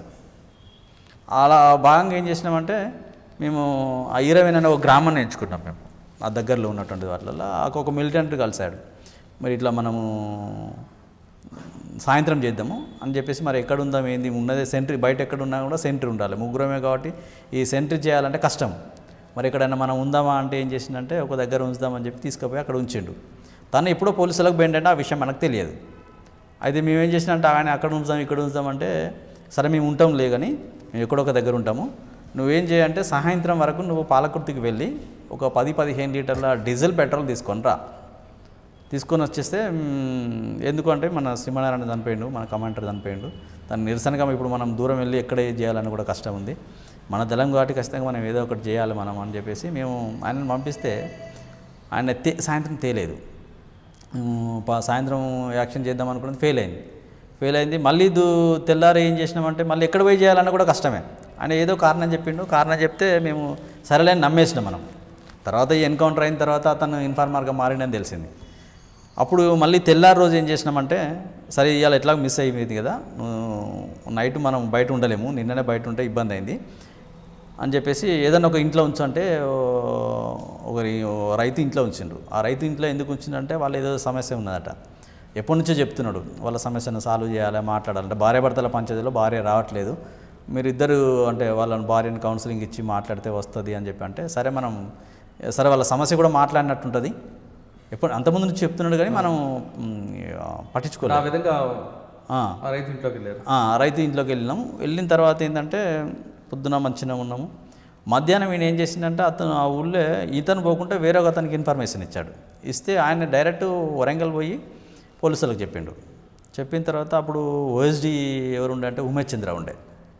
అప్పుడు ఈ గ్రహాండ్స్ దళాల కంటే ముందు కూడా ఏంటంటే బ్లాక్ కమాండో ఫోర్స్ అని చెప్పి ఒక సపరేట్ శిక్షణ ఎస్ఎస్ ఫోర్స్ అని ఒక ఫోర్స్ జిల్లా సపరేట్ నక్సలైట్ల కోసం అనేది ఒక స్పెషల్ పార్టీ అప్పుడు ఈ సపరేట్ వాళ్ళ శిక్షణ ఇచ్చిండు. ఈ మామూలు పోలీసు వాళ్ళు అయితే దళాల మీద అటాక్ చేయలేకపోతున్నాయి అని చెప్పేసి. ఆ కొత్తగా తయారైనటువంటి టీం ఏంటంటే మేము మధ్యాహ్నం మూడైంది. పొద్దున ఉన్నాము మధ్యాహ్నం మూడైంది. మూడు గంటలకు ఏం చేసిందంటే ఒక పోలీస్ జీప్ వచ్చేసింది ఊర్లోకి. జీప్ వచ్చేసిందంటే ఊరవతలకి వెళ్ళిపోయింది. అతన్ని మళ్ళీ మనకి ఇంట్లో ఉంచిన మిలిటెంట్ చెప్పలే. ఆ రైతు చెప్పిండు రైతు ఏం చేసిందంటే తను బావి కడుపు వేస్తున్న క్రమంలో ఇంట్లోకి వచ్చేసి అన్న ఇట్లా పోలీసు వాళ్ళు వచ్చిండ్రు అంటే మరి ఊళ్ళోనే ఉన్నారా? బయటికి వెళ్ళిపోయారా? అని చెప్పి అన్న తర్వాత లేదు బయటికి వెళ్ళిపోయినంటే అప్పుడు ఆ విలేజ్లో మనకు మంచి పట్టు ఉండే అంటే అందరు సహకరించేది. ఏ ఊరది? ఈరవెన్ను అనే గ్రామం. ఆ గ్రామంలో ఏంటంటే మనకు ఎక్కడ అయినా కూడా రైతులు ఎవరు కూడా మనకు ఎప్పుడు అది చేయలేదు. కాబట్టి ఏంటంటే ఈ ఇన్సిడెంట్ జరిగింది కాబట్టి కమాండర్ చనిపోయింది కాబట్టి ఇట్లా తిరుగుతూ ఉంటారు ఏదో ఒకటి జరుగుతుంది ఊళ్ళో వెళ్ళిపోయింది కదా అని చెప్పేసి మేము ఉన్నాం. ఉన్న తర్వాత ఏంటంటే సాయంత్రం ఐదు అవుతుంది ఐ- ఐదు ఆరు మధ్యలో ఏం చేసిందంటే మన దగ్గర ఎవరైతే ఈ మిలిటెంట్ మనలో వెళ్ళి ఉంచిండో వాళ్ళ అన్న వచ్చిండు. వచ్చేసి ఏడే తమ్ముడు ఏడు అంటే నాన్న ఇంకా రాలేదు మరి డీజిల్ గిట్లా తీసుకురాలేదు పోయిండు వస్తారు కావచ్చు అంటే సరే మనం ఎట్లా ఇప్పుడు ఊళ్ళోకి పోలీసులు వచ్చిందని తెలిసింది కదా బయటికి వెళ్దాం మనము బయటనే తిందాము అని చెప్పేసి మేము అన్నాను అంటే అప్పటికి వీళ్ళు ప్లాన్ ఉన్నా మాకు తెలియదు. అదే. లేదు అన్న తమ్ముడు వచ్చేసరికి కొద్దిగా టైం పడుతుంది. మీరు ఉండండి అని చెప్పి మాకు పల్లికాయలు తీసుకొచ్చి ఇచ్చిండు. పల్లికాయలు తీసుకొచ్చి ఇచ్చిన తర్వాత మేము సరే తింటున్నాం. అప్పటికి ఏమనుకున్నాం అంటే సరేలే సర్లే పది నిమిషాలకు మళ్ళీ అన్నాన్ని బయటకు తీసుకెళ్ళి ఎందుకు వెళ్ళాలి అని చెప్పేసి మేము తింటున్నాము. కొద్దిగా సిక్స్ అవుతుంది అప్పుడు. సిక్స్ అవుతున్న క్రమంలో ఇక మళ్ళీ ఊళ్ళో పోలీసులు వాళ్ళు వచ్చింది మాకు తెలియదు మళ్ళీ. ఫస్ట్ వచ్చి వెళ్ళిపోయినరు. రెండోసారి వచ్చింది మాకు తెలియదు. తెలియక ఏం చేసినామంటే ఇక మేము ఇంట్లో ఉన్న ఏదైతే ఇంట్లో ఉన్నామో సపరేట్ ఉంటుంది అన్నట్టు. మేము ఉండే రూమ్ సపరేట్ ఉంటుంది ఈ మూడు రూమ్లు ఉంటాయి అన్నట్టు. ఈ మూడు రూమ్లోకి వెళ్ళి మధ్యలో రూమ్లోకి వచ్చేసిండు పోలీసు వాళ్ళు ఆల్రెడీ. డైరెక్ట్ లోపలికి వచ్చిండు అప్పటికి దాదాపు ఒక మూడు నాలుగు వందల మంది పోలీసులు ఊరు మొత్తం చుట్టుముట్టిండు ఊరు మొత్తం చుట్టుముట్టిండు మేము ఉన్న ఇల్లు కూడా చుట్టుముట్టిండు అప్పుడు ఏమైందంటే ఈ రైతులు ఎవరైతే మనం మీ ఇంట్లో ఉన్నామో వాళ్ళని ఏం చేసిందంటే బయటికి తీసుకెళ్ళడం కోసం వచ్చింది లేకపోతే మాకు తెలియకపోవు. ఇప్పుడు మా దగ్గర ఎవరైతే మిలిటెంట్ ఆయన వచ్చిండో నేను తమ్ముని తీసుకొస్తా అని చెప్పి ఆయన వెళ్ళిపోయింది ఇక. మళ్ళీ రాలే. పోలీసు వాళ్ళు ఏం చేసిందంటే ఈ ఇంటి ఓనర్స్ను బయట తీసుకెళ్తున్న క్రమంలో నేను టక్ను చూసినాం. చూసిన తర్వాత అప్పటికి మాకు ఒక సంఘటన గుర్తుండే. ఇప్పుడు నిజామాబాద్లో ఒక ఎన్కౌంటర్ జరిగింది. అప్పుడు ఒక ఇట్లనే ఇంట్లో ఊర్లో ఉన్నటువంటి ఒక ఇల్లును చుట్టుముట్టితే దళం మొత్తం చనిపోయి ఒక్కడే ఒక వారం రోజుల దాకా పోలీసులు అతను ఫైటింగ్ చేసి పెంట బొందలో దాచుకున్నాడు. అది మాకు అంటే దళాలకు చెప్తారు అన్నట్టు ఎందుకు అంటే ఎట్లా తప్పించుకోవాలి? ఆ టక్న గుర్తొచ్చేసింది. గుర్తొచ్చేసి ఏంటంటే విత్ ఇన్ ఫ్యాక్షన్ ఆఫ్ సెకండ్లో మనం బయటపడాలి. లేకపోతే మనం తప్పుకోలేము. అనేసి ఏం చేసినట్టు నాతో ఉన్న దళ సభ్యులకు ఏం చేసినామంటే మనం ఇమీడియట్గా ఫైవ్ మినిట్స్లో వాళ్ళు కౌంటర్ ఫైర్ చేయకముందుకు మనం ఫైరింగ్ మొదలు పెట్టాలి నేను ముందుంటా మీరు వెనక రండి మీరు భయపడాల్సిన అవసరం లేదని చెప్పేసి డోర్ ఓపెన్ చేసేసి ఏకతను డైరెక్ట్ వాళ్ళకంటే ముందే ఫైరింగ్ కొట్టేసిన. కొట్టేసిన తర్వాత నేనేం చేసిందంటే అదే స్పీడ్లో చుట్టూ కాంపౌండ్ ఉంటుంది. ఆ కాంపౌండ్ జంప్ చేసి బయట దునికాను అప్పటికి ఏంటంటే మాకు ఒక ట్రైనింగ్ ఉండే. అప్పుడు మేము స్పెషల్గా ఒక ట్రైనింగ్ చేశాము. దాంట్లో ఏంటంటే ఐదు ఆరు ఫీట్ల గోడనికి ఈజీగా దునికిపోయేది నేను. మాకు అప్పుడు పోలీసు యాక్షన్ సంబంధించిన ఒకటి ట్రైనింగ్ ఇచ్చింది కాబట్టి ఆ ట్రైనింగ్లో అది మాకు అప్పుడు ఉపయోగపడ్డది నాకు. దాని తర్వాత ఏంటంటే జంప్ చేసి బయట బయట వీళ్ళు ఫైరింగ్ ఓపెన్ కాగానే నాతో ఉన్న వాళ్ళు కూడా ఎంబడే వస్తే అయిపోయేది. వీళ్ళు ఏం చేసిండ్రు? మళ్ళీ రూమ్లో కురికిండ్రు. నేనేమో బయట దునికేసి బయట నుంచి కూడా ఫైరింగ్ చేసుకుంటూ వెళ్ళిపోయినాం. వాళ్ళ మీదకెళ్ళి కొట్టుకుంటాను అప్పటికి వాళ్ళ ఫైరింగ్ అయితేనేమో నేను బయట పడేవాడిని కాదుగా. నేను ఎప్పుడైతే ఫైరింగ్ ఓపెన్ చేశానో వాళ్ళంతా గందరగోళానికి గురై గెరీలలో ఒక ఉంది ఒక యుద్ధ తంత్రానికి సంబంధించినటువంటి ఏంటంటే ఎవరైతే ముందు అడ్వాన్స్గా ఫైర్ చేస్తారో అవతలి వాళ్ళు తొందరగా గందరగోళానికి గురవుతారు. ఎందుకంటే వాళ్ళు ప్లాన్డ్గా ఉండరు కాబట్టి. వాళ్ళు ప్లాన్డ్గా వచ్చినప్పుడు కూడా ఫస్ట్ మనం అనుకోకుండా చేసినాం కాబట్టి వాళ్ళు గందరగోళానికి గురై వాళ్ళు ఇంకా పూర్తిగా పొజిషన్ తీసుకోలే. దాంతో కొద్ది దూరం కూడా ఎంబడి పడ్డారు నా ఎంబడి. అప్పటికి చీకటి అయిపోయింది ఇక చెప్పులు లేవు. ఆ రాత్రి అంతా తెల్లారి వరకు నడుచుకుంటూనే వెళ్ళిపోయినా. అట్లా ఏంటంటే అక్కడ మీరు మిస్ అయ్యారు కానీ మిగతా నలుగురు? చనిపోయారు. ఫైరింగ్లో ఫైరింగ్లో వాళ్ళు ఆ, మనకు తెలిసిన రిపోర్ట్ ఏంటంటే దొరికినాక కూడా ప్రాణాలతో చంపేసిండ్రని. అంటే మేము సరెండర్ అయితే ఎస్కేప్ అయిన వెళ్ళారు? ఎస్కేప్ అయిపోయిన తర్వాత నేను దాదాపు ఒక ఇరవై కిలోమీటర్ ముప్పై కిలోమీటర్లు నడిచాను. ఎక్కడ పోయినా నాకే తెలియదు. ఆ గందరగోళంలో నా ఎంబడి పడతానికి వచ్చి అనుకున్నా ఇంకా నేను. ఒకటే మిగిలిన నేను ఎటు పోవాలన్నా తెలియదు. మళ్ళీ ఎక్కడికి వర్ధనపేటకు వచ్చేసాను నేను. ఇక్కడ ఫైరింగ్ జరిగితే. వర్ధనపేటకు వచ్చిన ఒకటి ఏకే ఉంది. ఇక నా దగ్గర ఏం లేదు. చెప్పుల కాలు లేవులు మొత్తం పుండ్లు రక్తాలు గారినాయి. ముండ్లన్నీ వచ్చింత దొడ్డు వాసనే అవి. ఒక విలేజ్ ఉంటుంది ఆడ. ఆ విలేజ్ దగ్గర ఆగిన తర్వాత స్నానం చేసిన. యూనిఫామ్ ఉంది. యూనిఫామ్ వదిలేసేసి ఆ రైతును నాకు వచ్చే డ్రెస్ లేదు. ఒక లింగి అడుక్కున్న ఒక అంగి చిన్న షార్ట్ దొరికింది. చిన్నపిల్లలైనా పర్లేదని చెప్పేసి అది తీసుకొని ఇంకొక విలేజ్కి వెళ్ళాను. అప్పటికి ఏంటంటే ఎన్కౌంటర్ జరిగిందని పొద్దురికి ఇష్యూ అయిపోయింది. అయిపోయిన తర్వాత మనం ఇంకొక మిలిటెంట్కి వెళ్దామని వెళ్ళాను. అప్పుడు పోలీస్ వాళ్ళు ఏం చేసిందంటే తనను రమ్మని చెప్పిపోవడానికి ఆ మిలిటెంట్ దగ్గరికి వచ్చిండ్రు. నేను పోదామని. నేను కొద్దిసేపు ఆగినా మళ్ళీ ఆ విషయం తెలియదు నాకు. నేను ఆ మిలిటెంట్ దగ్గర పోగానే ఆయన బట్టలు వేసుకుంటారు ఎటు పోతున్నావు అన్న? అంటే ఇట్లా పోలీసులు రాత్రి ఎన్కౌంటర్ జరిగిందట కదా నువ్వు తప్పించుకున్నావు అంటే అవునే మరి ఎప్పుడు ఎక్కడికి వెళ్తున్నావు? అంటే సేయ గారు రమ్మన్నారు వెళ్తున్నా అన్నాడు. ఆయన అప్పటికి చాలాసార్లు పోలీస్ స్టేషన్కి వచ్చినా కూడా ఎప్పుడు కూడా మన ఇన్ఫర్మేషన్ ఇవ్వకపోయింది మన దళం దగ్గర నుంచి కూడా ఉండి కూడా పోలీస్ స్టేషన్ పోయినా ఆయన చాలాసార్లు.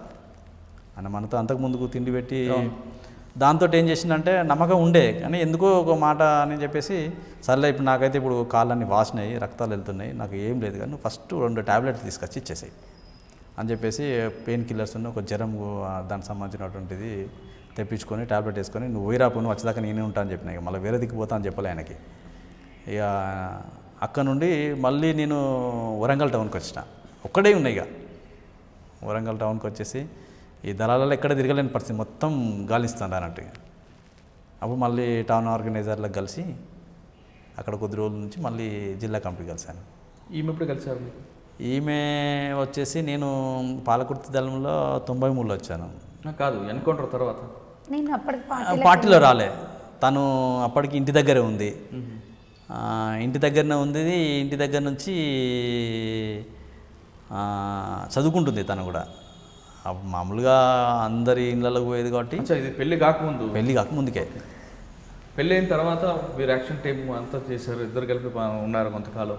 అంటే తను లేదు యాక్షన్ టీంలలో నేను ఉండేవాడిని ఎందుకంటే కానీ మీ ఇద్దరు ఎప్పుడు అరెస్ట్ అయ్యారు? రెండు వేల సంవత్సరంలో ఫిబ్రవరిలో అరెస్ట్ అయ్యాం. ఎలాగ అరెస్ట్ అయ్యారు?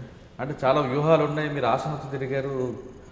అంటే అప్పటికి ఏంటంటే నేను ఈ ఎన్కౌంటర్ తర్వాత మిలిటరీ ట్రైనింగ్ ఇదంతా అయిపోయిన తర్వాత దండకరణ్యం పంపించారు. ఇది సెంట్రల్ కమిటీ తీర్మానంలో కొన్ని పంపించారనే భాగం గల అటు పంపిస్తే అక్కడికి వెళ్ళాము. యాక్చువల్లీ ఏంటంటే నాకు ఆర్గనైజేషన్ కంటే ఎక్కువ కూడా ఏంటంటే మిలిటరీ యాక్షన్స్ మీదనే నాకు ఎక్కువ ఆసక్తి ఉండే.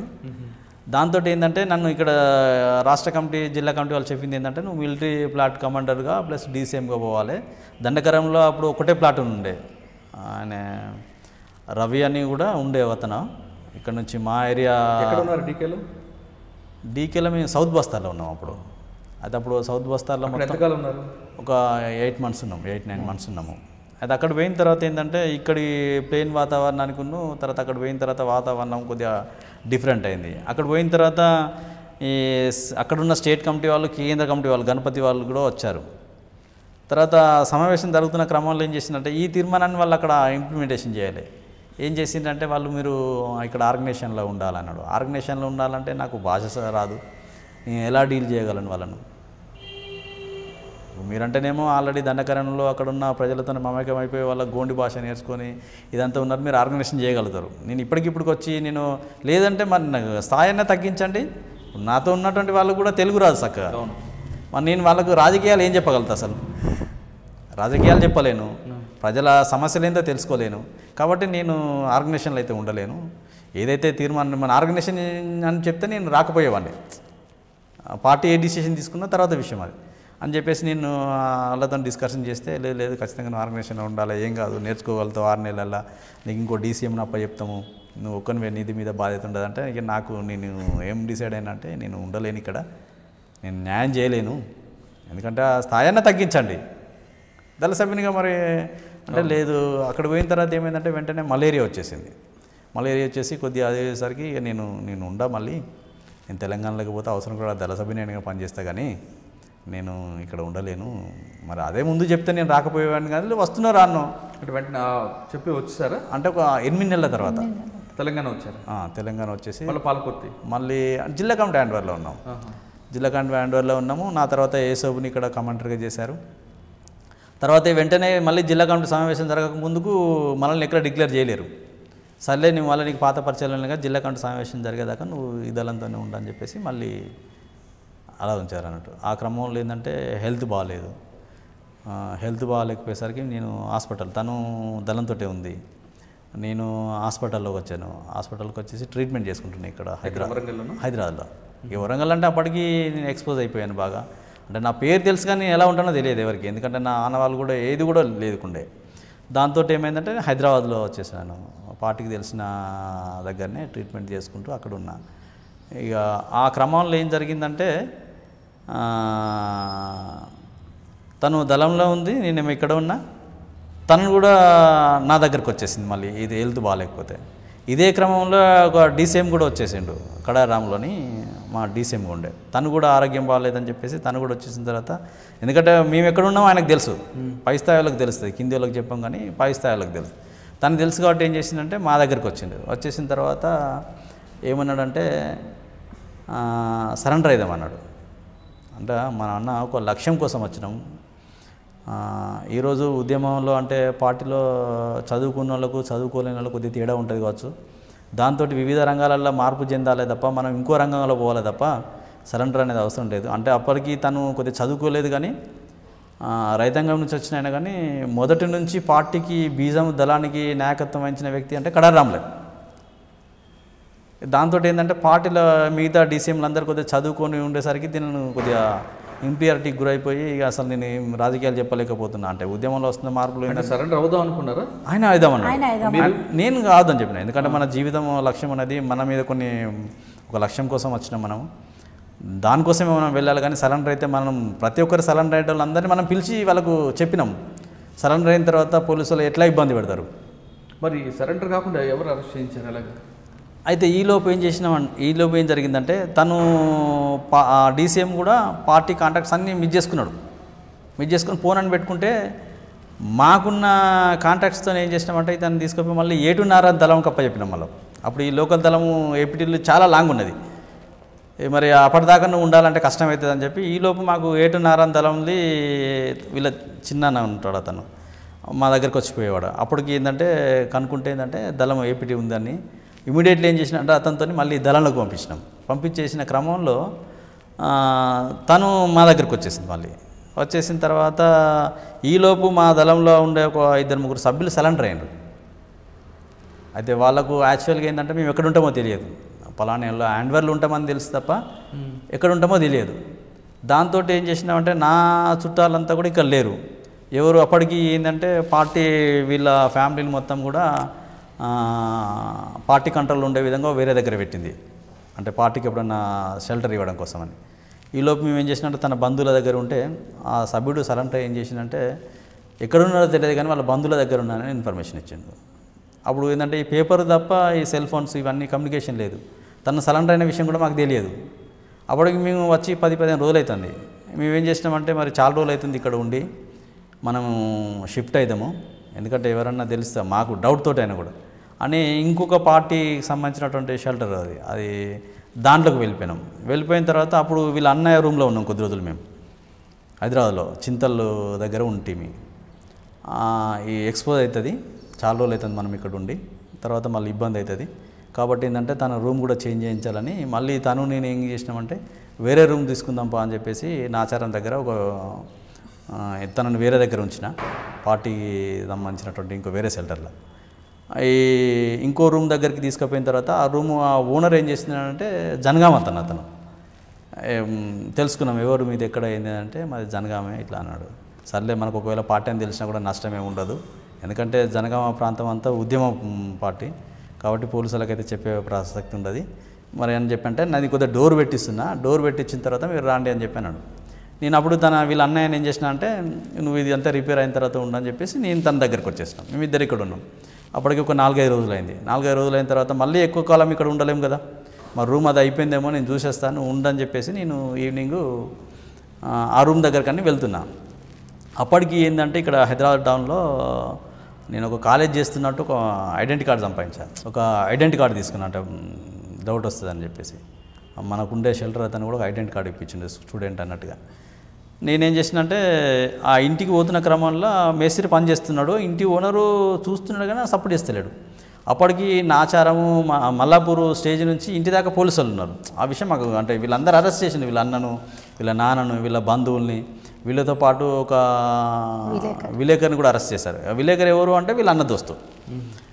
అట్లా అందరినీ అరెస్ట్ చేసి మేము దొరకదాకా వదిలిపెట్టద్దని. అయితే వీళ్ళు ఏం చేసిందంటే కొంతమంది పోలీసు వాళ్ళు ఇప్పటికి మనం వారం రోజులు అవుతుంది వచ్చి వీళ్ళు వచ్చేటట్లేరు దొరకటట్లేరు రిటర్న్ పోదామని చెప్పి అప్పుడు పోలీసు అంటే సెల్ ఫోన్స్ లేవు ల్యాండ్ ఫోనే. అప్పుడు రిటర్న్ ఇక్కడికి వీళ్ళు బస్ స్టాండ్కి వచ్చి ఫోన్ చేద్దామని ఆ ఎస్ఐను మిగతా వాళ్ళు అక్కడ సంబంధిత స్టేషన్ చేద్దామని అందరూ వచ్చిండ్రు. ఒక ఇద్దరే ఉన్నారు ఆడ. నేను పనిచేసేవాళ్ళు ఆడ. మేస్త్రి ఆ ఇంటి పని చేస్తుంటే పని చేసేవాళ్ళు కావచ్చు అనుకొని ఆ రూమ్లో గేట్లోకి ఎంటర్ అయినా. అప్పటికి ఇట్లానే ఒక కుర్చీ వేసుకొని ఉన్నాడు కానిస్టేబుల్ కా సివిల్లో ఉన్నాడు. సివిల్లో ఉన్నాడు ఎవరు కావాలన్నాడు? లేదు సార్ లేదు. ఇట్లా రూమ్ రెంట్ కావాలి కాలేజ్ చేస్తాను నేను రూమ్ రెంట్ కోసం. అంటే అప్పుడు నేను ఐడెంటిఫై లేదు వాళ్ళకు. అయితే వాళ్ళకు ఏంటంటే ఎవరు వచ్చినా కూడా ఆ రూమ్ కాడికి బయటికి పంపించద్దు అయితే నాకు ఏం మాత్రం డౌట్ వచ్చినా కూడా నేను అందులోకి వెళ్ళేవాడిని కాదు. అయితే మేస్త్రి పని చేసుకుంటుంటాడు కావచ్చు వాళ్ళు అనుకున్నాను నేను యాక్చువల్గా.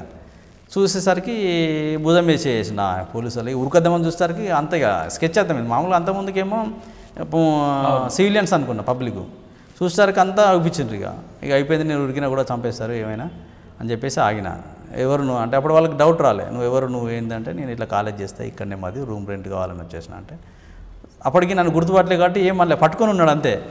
ఈలోపు ఈ మేము రిటర్న్ వస్తామని చెప్పేసి వాళ్ళ ఫైవ్ ఆఫీసర్లు చెప్పడానికి పోయిన వాళ్ళు వచ్చినాను ఒక ఆయన గుర్తుపట్టినాను అతను అంతకుముందుకు ఏంటంటే మా నేను దళంలో ఉన్నప్పుడు మా దగ్గర సివిల్గా వచ్చిండు ఆయన. మాట్లాడిపోయిండు. ఆ విషయం కూడా తెలుసు మాకు. ఆయన గుర్తుపట్టి ఈయన అనగానే అప్పుడు నా కళ్ళు చేతులు అవన్నీ కట్టేశారు.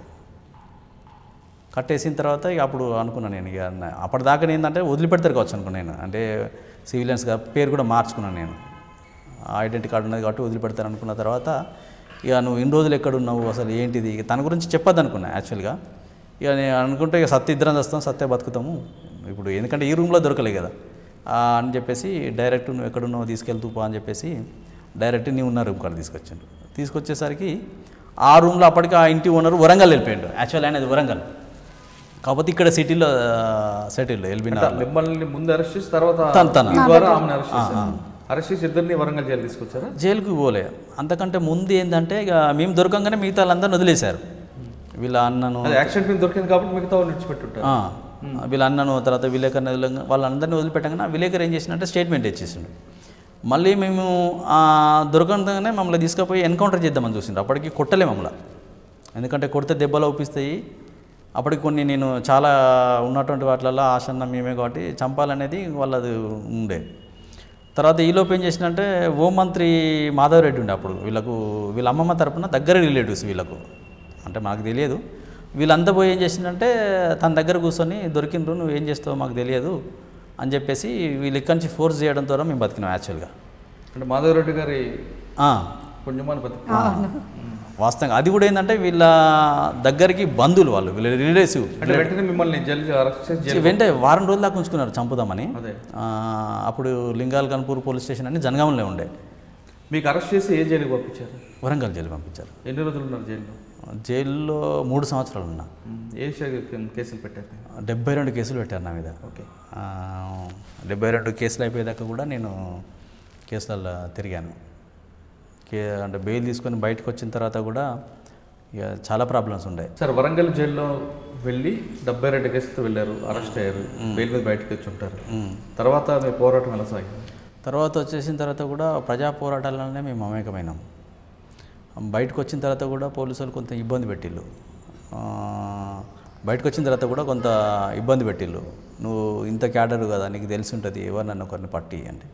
పార్టీ నుంచి ఒకసారి సంబంధాలు తెగిపోయిన తర్వాత దళ సభ్యుని నమ్ముతారు కానీ ఒక కమాండర్ ఒక డీసీఎం స్థాయిలో పనిచేసినటువంటి వాళ్ళను పార్టీ ఎప్పుడు కూడా నమ్మదు. ఎందుకు అంటే మేము చాలా యాక్షన్స్లలో ఉన్నాము. ఇంకా ఇన్ఫార్మర్గా మారిండని అనుకుంటారు తప్ప కానీ మళ్ళీ ఏదో దళంలోకి పోయి ఏదో సంబంధాలు పెట్టుకుంటారని చెప్పేసి ఉండదు అని చెప్పేసి ఉన్నా కూడా పోలీసులు కొద్దిగా బాగానే ఇబ్బంది పెట్టారు. ఆయన కూడా ఏమన్నా చేసుకోమని చెప్పేసి మేము కొద్దిగా అలా ఉండిపోయినాం అన్నట్టు. సాధారణంగా నక్సలైట్స్ సరెండర్ అయితే వాళ్ళ మీద ఉన్న రివార్డు పార్టీ ప్రభుత్వం వాళ్ళకి ఇస్తుంది కానీ మీరు అరెస్ట్ అయ్యారు కాబట్టి మీకు ఎటువంటి రివార్డులు రావు. మాకు మీ మీద ఉన్న రివార్డులన్నీ కూడా ఆ టీంకి వెళ్తారు అటువంటి పరిస్థితుల్లో మీరు ఎలాంటి ఆర్థిక కష్టాలు ఎదుర్కొంటారు? అంటే మేము జైలు నుంచి బయటకు వచ్చిన తర్వాత మా దగ్గర ఒక టెన్ రూపీస్ కూడా లేని పరిస్థితి.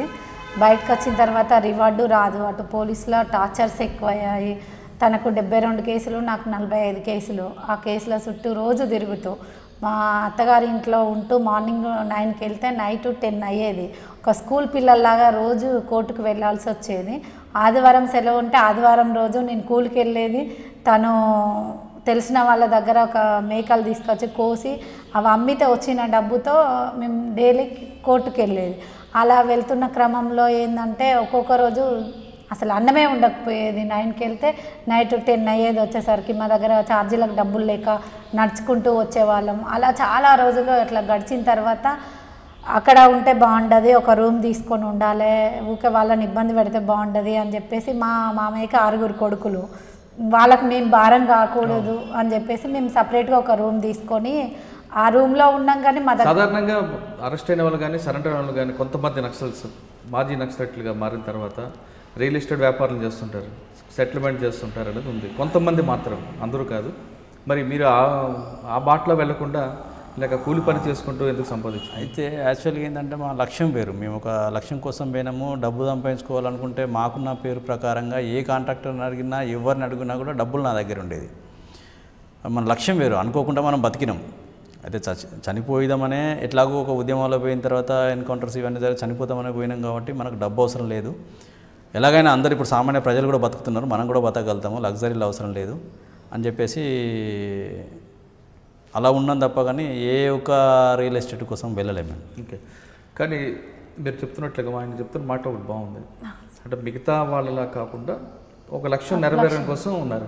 కానీ అనాథ పిల్లల్ని ఆదుకోవాలని ఆలోచన ఎందుకు వచ్చింది? మేము రూమ్ తీసుకున్న తర్వాత అక్కడ మాకు గిన్నెలు ఉండడానికి కూడా అసలు ఏం లేదు. ఒక్క చీర ఒక నైట్ ఒక డ్రెస్ మీద త్రీ ఇయర్స్ ఉన్నాను. అలా ఇద్దరం అలాగే ఉన్నాము. కోర్టుకు వెళ్తూ వచ్చే వాళ్ళం. అట్లా గడిచిపోయిన తర్వాత ఏంటంటే నేను అసలు పది రూపాయలు కూడా లేవు. అసలు ఈ బతుకెందుకు అని చెప్పి విరక్తి వచ్చి చనిపోదామని చెప్పి కాజుపేట రైల్వే స్టేషన్లోకి వెళ్ళాను. వెళ్ళిన తర్వాత అక్కడ ప్లాట్ఫామ్ మీద కూర్చున్నా. అసలు ఒక త్రీ డేస్. అంటే చెప్పి వెళ్ళారా? తనకు చెప్పలేదు. చెప్పకుండానే వెళ్ళిపోయాను. తను వారెంట్ అయ్యి కేసులో జైల్లో ఉన్నాడు. అసలు నా దగ్గర డబ్బులు లేవు. ఎలా తీసుకురావాలి అని చెప్పేసి అంటే కోర్టులలో కేసులు ఏంటంటే ఒక్కొక్కసారి మనం అన్నిటికి అటెండ్ అయినా కొన్ని వారెంట్ అవుతున్నాయి. మళ్ళీ జైలుకి వెళ్ళాడు రెండోసారి. ఆ జైలుకి వెళ్ళినప్పుడు ఇంకా ఏం చేయాలనో తెలియని పరిస్థితిలో నేను చనిపోదాం అనుకున్నాను. ప్లాట్ఫారం మీద ఒక మంచి కసితో లోపలికి వెళ్ళి బయటకు వచ్చి మళ్ళా ఆత్మహత్య చేసుకోవాలన్న పిరికితనం వెలగొచ్చింది. అంటే డబ్బులు లేవు. అసలు ఏం చేయాలనో తెలియదు. నాకు ఎవ్వరు తెలియదు. తను జైల్లో ఉన్నాడు. నా దగ్గర ఏం అమౌంట్ లేదు. నాకు ఎవరు సహకరిస్తారు ఎవరు సహకరించారు అనేది కూడా తెలియదు.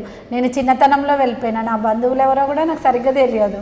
అసలు ఎక్కడ పోవాలనో తెలియని పరిస్థితిలో రైల్వే స్టేషన్లో కూర్చున్నా ప్లాట్ఫారం మీద. ఇంకా చనిపోదామని చెప్పేసి ట్రైన్ వస్తున్నది. కూర్చున్న తర్వాత ఒక అమ్మాయి అడుక్కుంటుంది. ఇంకా నేను ట్రైన్ దగ్గర పట్టాల మీద కూర్చుని ఆల్రెడీ. ట్రైన్ వస్తుంది.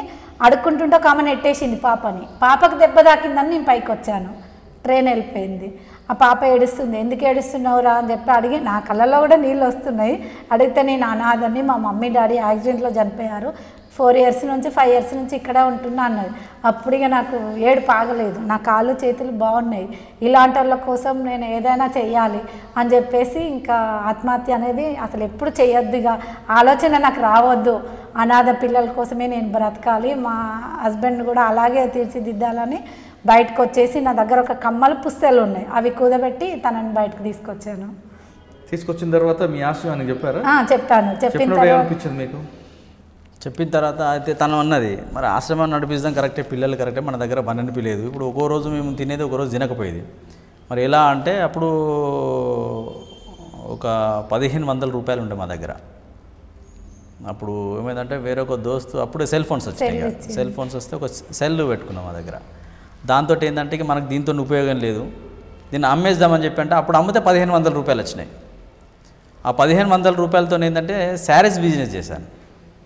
చీరలు అమ్మి అప్పుడు ఆ చుట్టుపక్కల గ్రామాలన్నీ కూడా ఏంటంటే కొద్దిగా మనకు తెలిసిన గ్రామాలే. ఆ చీరలు తీసుకొచ్చేసిన తర్వాత హైదరాబాద్కి వచ్చేది. హైదరాబాద్కి వచ్చేసి చీరలు ఒకేసారి పదిహేను వందల రూపాయల చీరలు. హైదరాబాద్కి వచ్చే కంటే ముందు ఏంటంటే వరంగల్లో హోల్సేల్లో తీసుకొచ్చాం. తీసుకొచ్చి ఇండ్ల దగ్గర మనకు పరిచయాలు ఉన్నటువంటి వీళ్ళ దగ్గర తీసుకెళ్ళి. అమ్మితే ఆ పైసలతో ఏం చేసినంటే ఈ క్రమంలో ఏంటంటే వరంగల్లో బాలసముద్రం అని కూరగాయల మార్కెట్ ఉంటుంది. ఆ మార్కెట్లో దాదాపు మన పోరాట గ్రామం నుంచి వచ్చిన ప్రజలు రైతులందరూ కూడా. వాళ్ళు పరిచయం అయ్యారు మనకు. ఆ క్రమంలో ఏంటంటే వాళ్ళు బాగా సాగరు ఈరోజు మేము యాక్చువల్గా ఇలా ఉండడానికి కూడా కారణం కూడా ఏంటంటే ఆ రైతులే మాకు దీవెన. ఎందుకంటే వాళ్ళు లేకపోతే మేము లేము. బయటకు వచ్చిన తర్వాత ఏంటంటే ఎవరు కూడా ఏంటంటే మమ్మల్ని పనికి చీరల సంపాదనతో వచ్చింది. ఆ, చీరలతోటి నేను విలేజ్లోకి వెళ్ళేది ఫస్ట్. కోర్టుకు అటెండ్ కావాలి కాబట్టి ఫోర్కి లేసేది. ఫోర్కి లేసి బయట కోమటపల్లి దేవన్నపేట అని కొన్ని విలేజ్లు ఉంటాయి. అక్కడికి వెళ్ళి నేను అమ్మేది అనమాట చీరలు అమ్ముకొని మళ్ళీ పది గంటల వరకు వచ్చేది. పది గంటల వరకు వచ్చి కోర్టుకు అటెండ్ అయ్యేది. తను అంటే వేస్తే చేసేది ఇద్దరం కలిసి చేసుకునేది పని. పోయి అటెండ్ అయ్యేది. మళ్ళీ ఆ వెళ్తున్న క్రమంలో దేవన్నపేట వాళ్ళు ఏం చేసిందంటే బిడ్డ ఇక్కడ మార్కెట్ ఉంటుంది. నువ్వు ఇట్లా ఊర్ల పొంటి తిరిగి అమ్మకు. నువ్వు ఈ మార్కెట్లో ఇస్తే ఏంటంటే డైలీ కలెక్షన్ వస్తుంది. అని చెప్పి మళ్ళీ కోర్టుకు పోవచ్చు నీకు ఇబ్బంది ఉండదు బిడ్డ కూరగాయలు కూడా ఫ్రీగా ఇస్తాము అని చెప్తే అప్పుడు నాకు సంతోషం అనిపించింది. సరే అని చెప్పి ఒక ఐదు వందల మంది మహిళలు ఉంటారు. వాళ్ళందరూ నా దగ్గర చీరలు కొనేది. నేను ఇంకా పది రూపాయలు ఎక్కువ నా అంటే పది రూపాయలు తక్కువ అన్నా కూడా వాళ్ళు ఎక్కువ ఇచ్చేది నాకు. ఎందుకంటే నేను ఇట్లా పోయి వచ్చిన తర్వాత వాళ్ళకి తెలుసు కొన్ని కుటుంబాలకు నాకు అసలు ఇట్లా పోయి వచ్చి అరెస్ట్ అయ్యి నీ కష్టాలు పడుతుంది ఒక్కొక్క రోజు అన్నం వాళ్ళ టిఫిన్ బాక్సులు నాకు ఇచ్చేది. తిని బిడ్డ అని చెప్పి. అట్లా వాళ్ళకి గ్రామస్తుల సహకారంతో వచ్చాను, మార్కెట్ అదే అప్పటి నుంచే ఇక ఆశ్రమం కోసమనే చీరలు అమ్మాను. ఆ చీరలు అమ్మిన డబ్బు ఫైనాన్స్ ఇచ్చేది డైలీ ఫైనాన్స్. అది కలెక్షన్ చేసుకునేది. ఈ మనీతోటి ఏంటంటే ఒక మూడు ప్లాట్లు కొన్నాం. మూడు ప్లాట్లు కొని ఆ ప్లాట్లు అమ్మేసి ఆశ్రమం పెట్టినాం అనమాట డబ్బు లేనిది ఇప్పుడు ఆశ్రమం పెడతా. ఒక పది మంది పిల్లలు తీసుకొచ్చిన అనుకో ఎవరు సహకరిస్తారు? నేను ఆశ్రమం పెడుతున్నప్పుడు పెట్టాలని మీరు వ్యక్తం చేసినప్పుడు మీకు చాలా మంది సపోర్ట్ చేశారా? లేదంటే మీకు హేళన చేశారు. చాలా. అసలు ఒక పత్రిక మిత్రుడు కూడా అక్క నీ దగ్గర డబ్బులు లేవు నువ్వేం నడిపిస్తావు? నేను చూస్తా ఛాలెంజ్ అన్నారు. లేదన్నా ఛాలెంజ్ చేస్తున్నా నేను. కష్టపడి అవసరం అనుకుంటే సిగ్నల్ దగ్గర ఉండి నేను అడుక్కొచ్చి పిల్లలు జాతా అని చెప్పిన. పోలీసుల వైపు నుంచి మీకు ఏమైనా రాలేదా? లేదు. ఆశ్రమం పెడతాం లేదు. ఏం రాలేదు. లేదు. ఆ తర్వాత ఏంటంటే ఎక్కడ వరంగల్లో తెలంగాణ కోసం కూడా నేను పోరాటం చేశాను. ఆటోలో వెళ్తున్నప్పుడు ఎక్కడ ధర్నా జరిగినా దిగి అక్కడ ధర్నా చేసేది. అజంజా మిల్లు కోసం వన్ వీక్ నేను అమర నిరాహార దీక్ష చేశాను. అప్పుడు ఫుడ్ తినకుండా కూడా ఇప్పుడు సీఎం నుంచి ఫోన్ వచ్చిన తర్వాత మేము దిగాం. పెట్రోల్ పోసుకొని వాటర్ ట్యాంక్ ఎక్కాము. అంటే ఒక ఐదు వందల కుటుంబాలు రోడ్డు మీద పడుతున్నాయి. వాళ్ళ కోసం మేము ఏదైనా చెయ్యాలి బయట ఉన్నప్పుడు కూడా ప్రజల కోసమే చెయ్యాలనిపించేది ఆశ్రమం ఎక్కడ పెట్టారు ఇప్పుడు జనగాంలో పెట్టాము.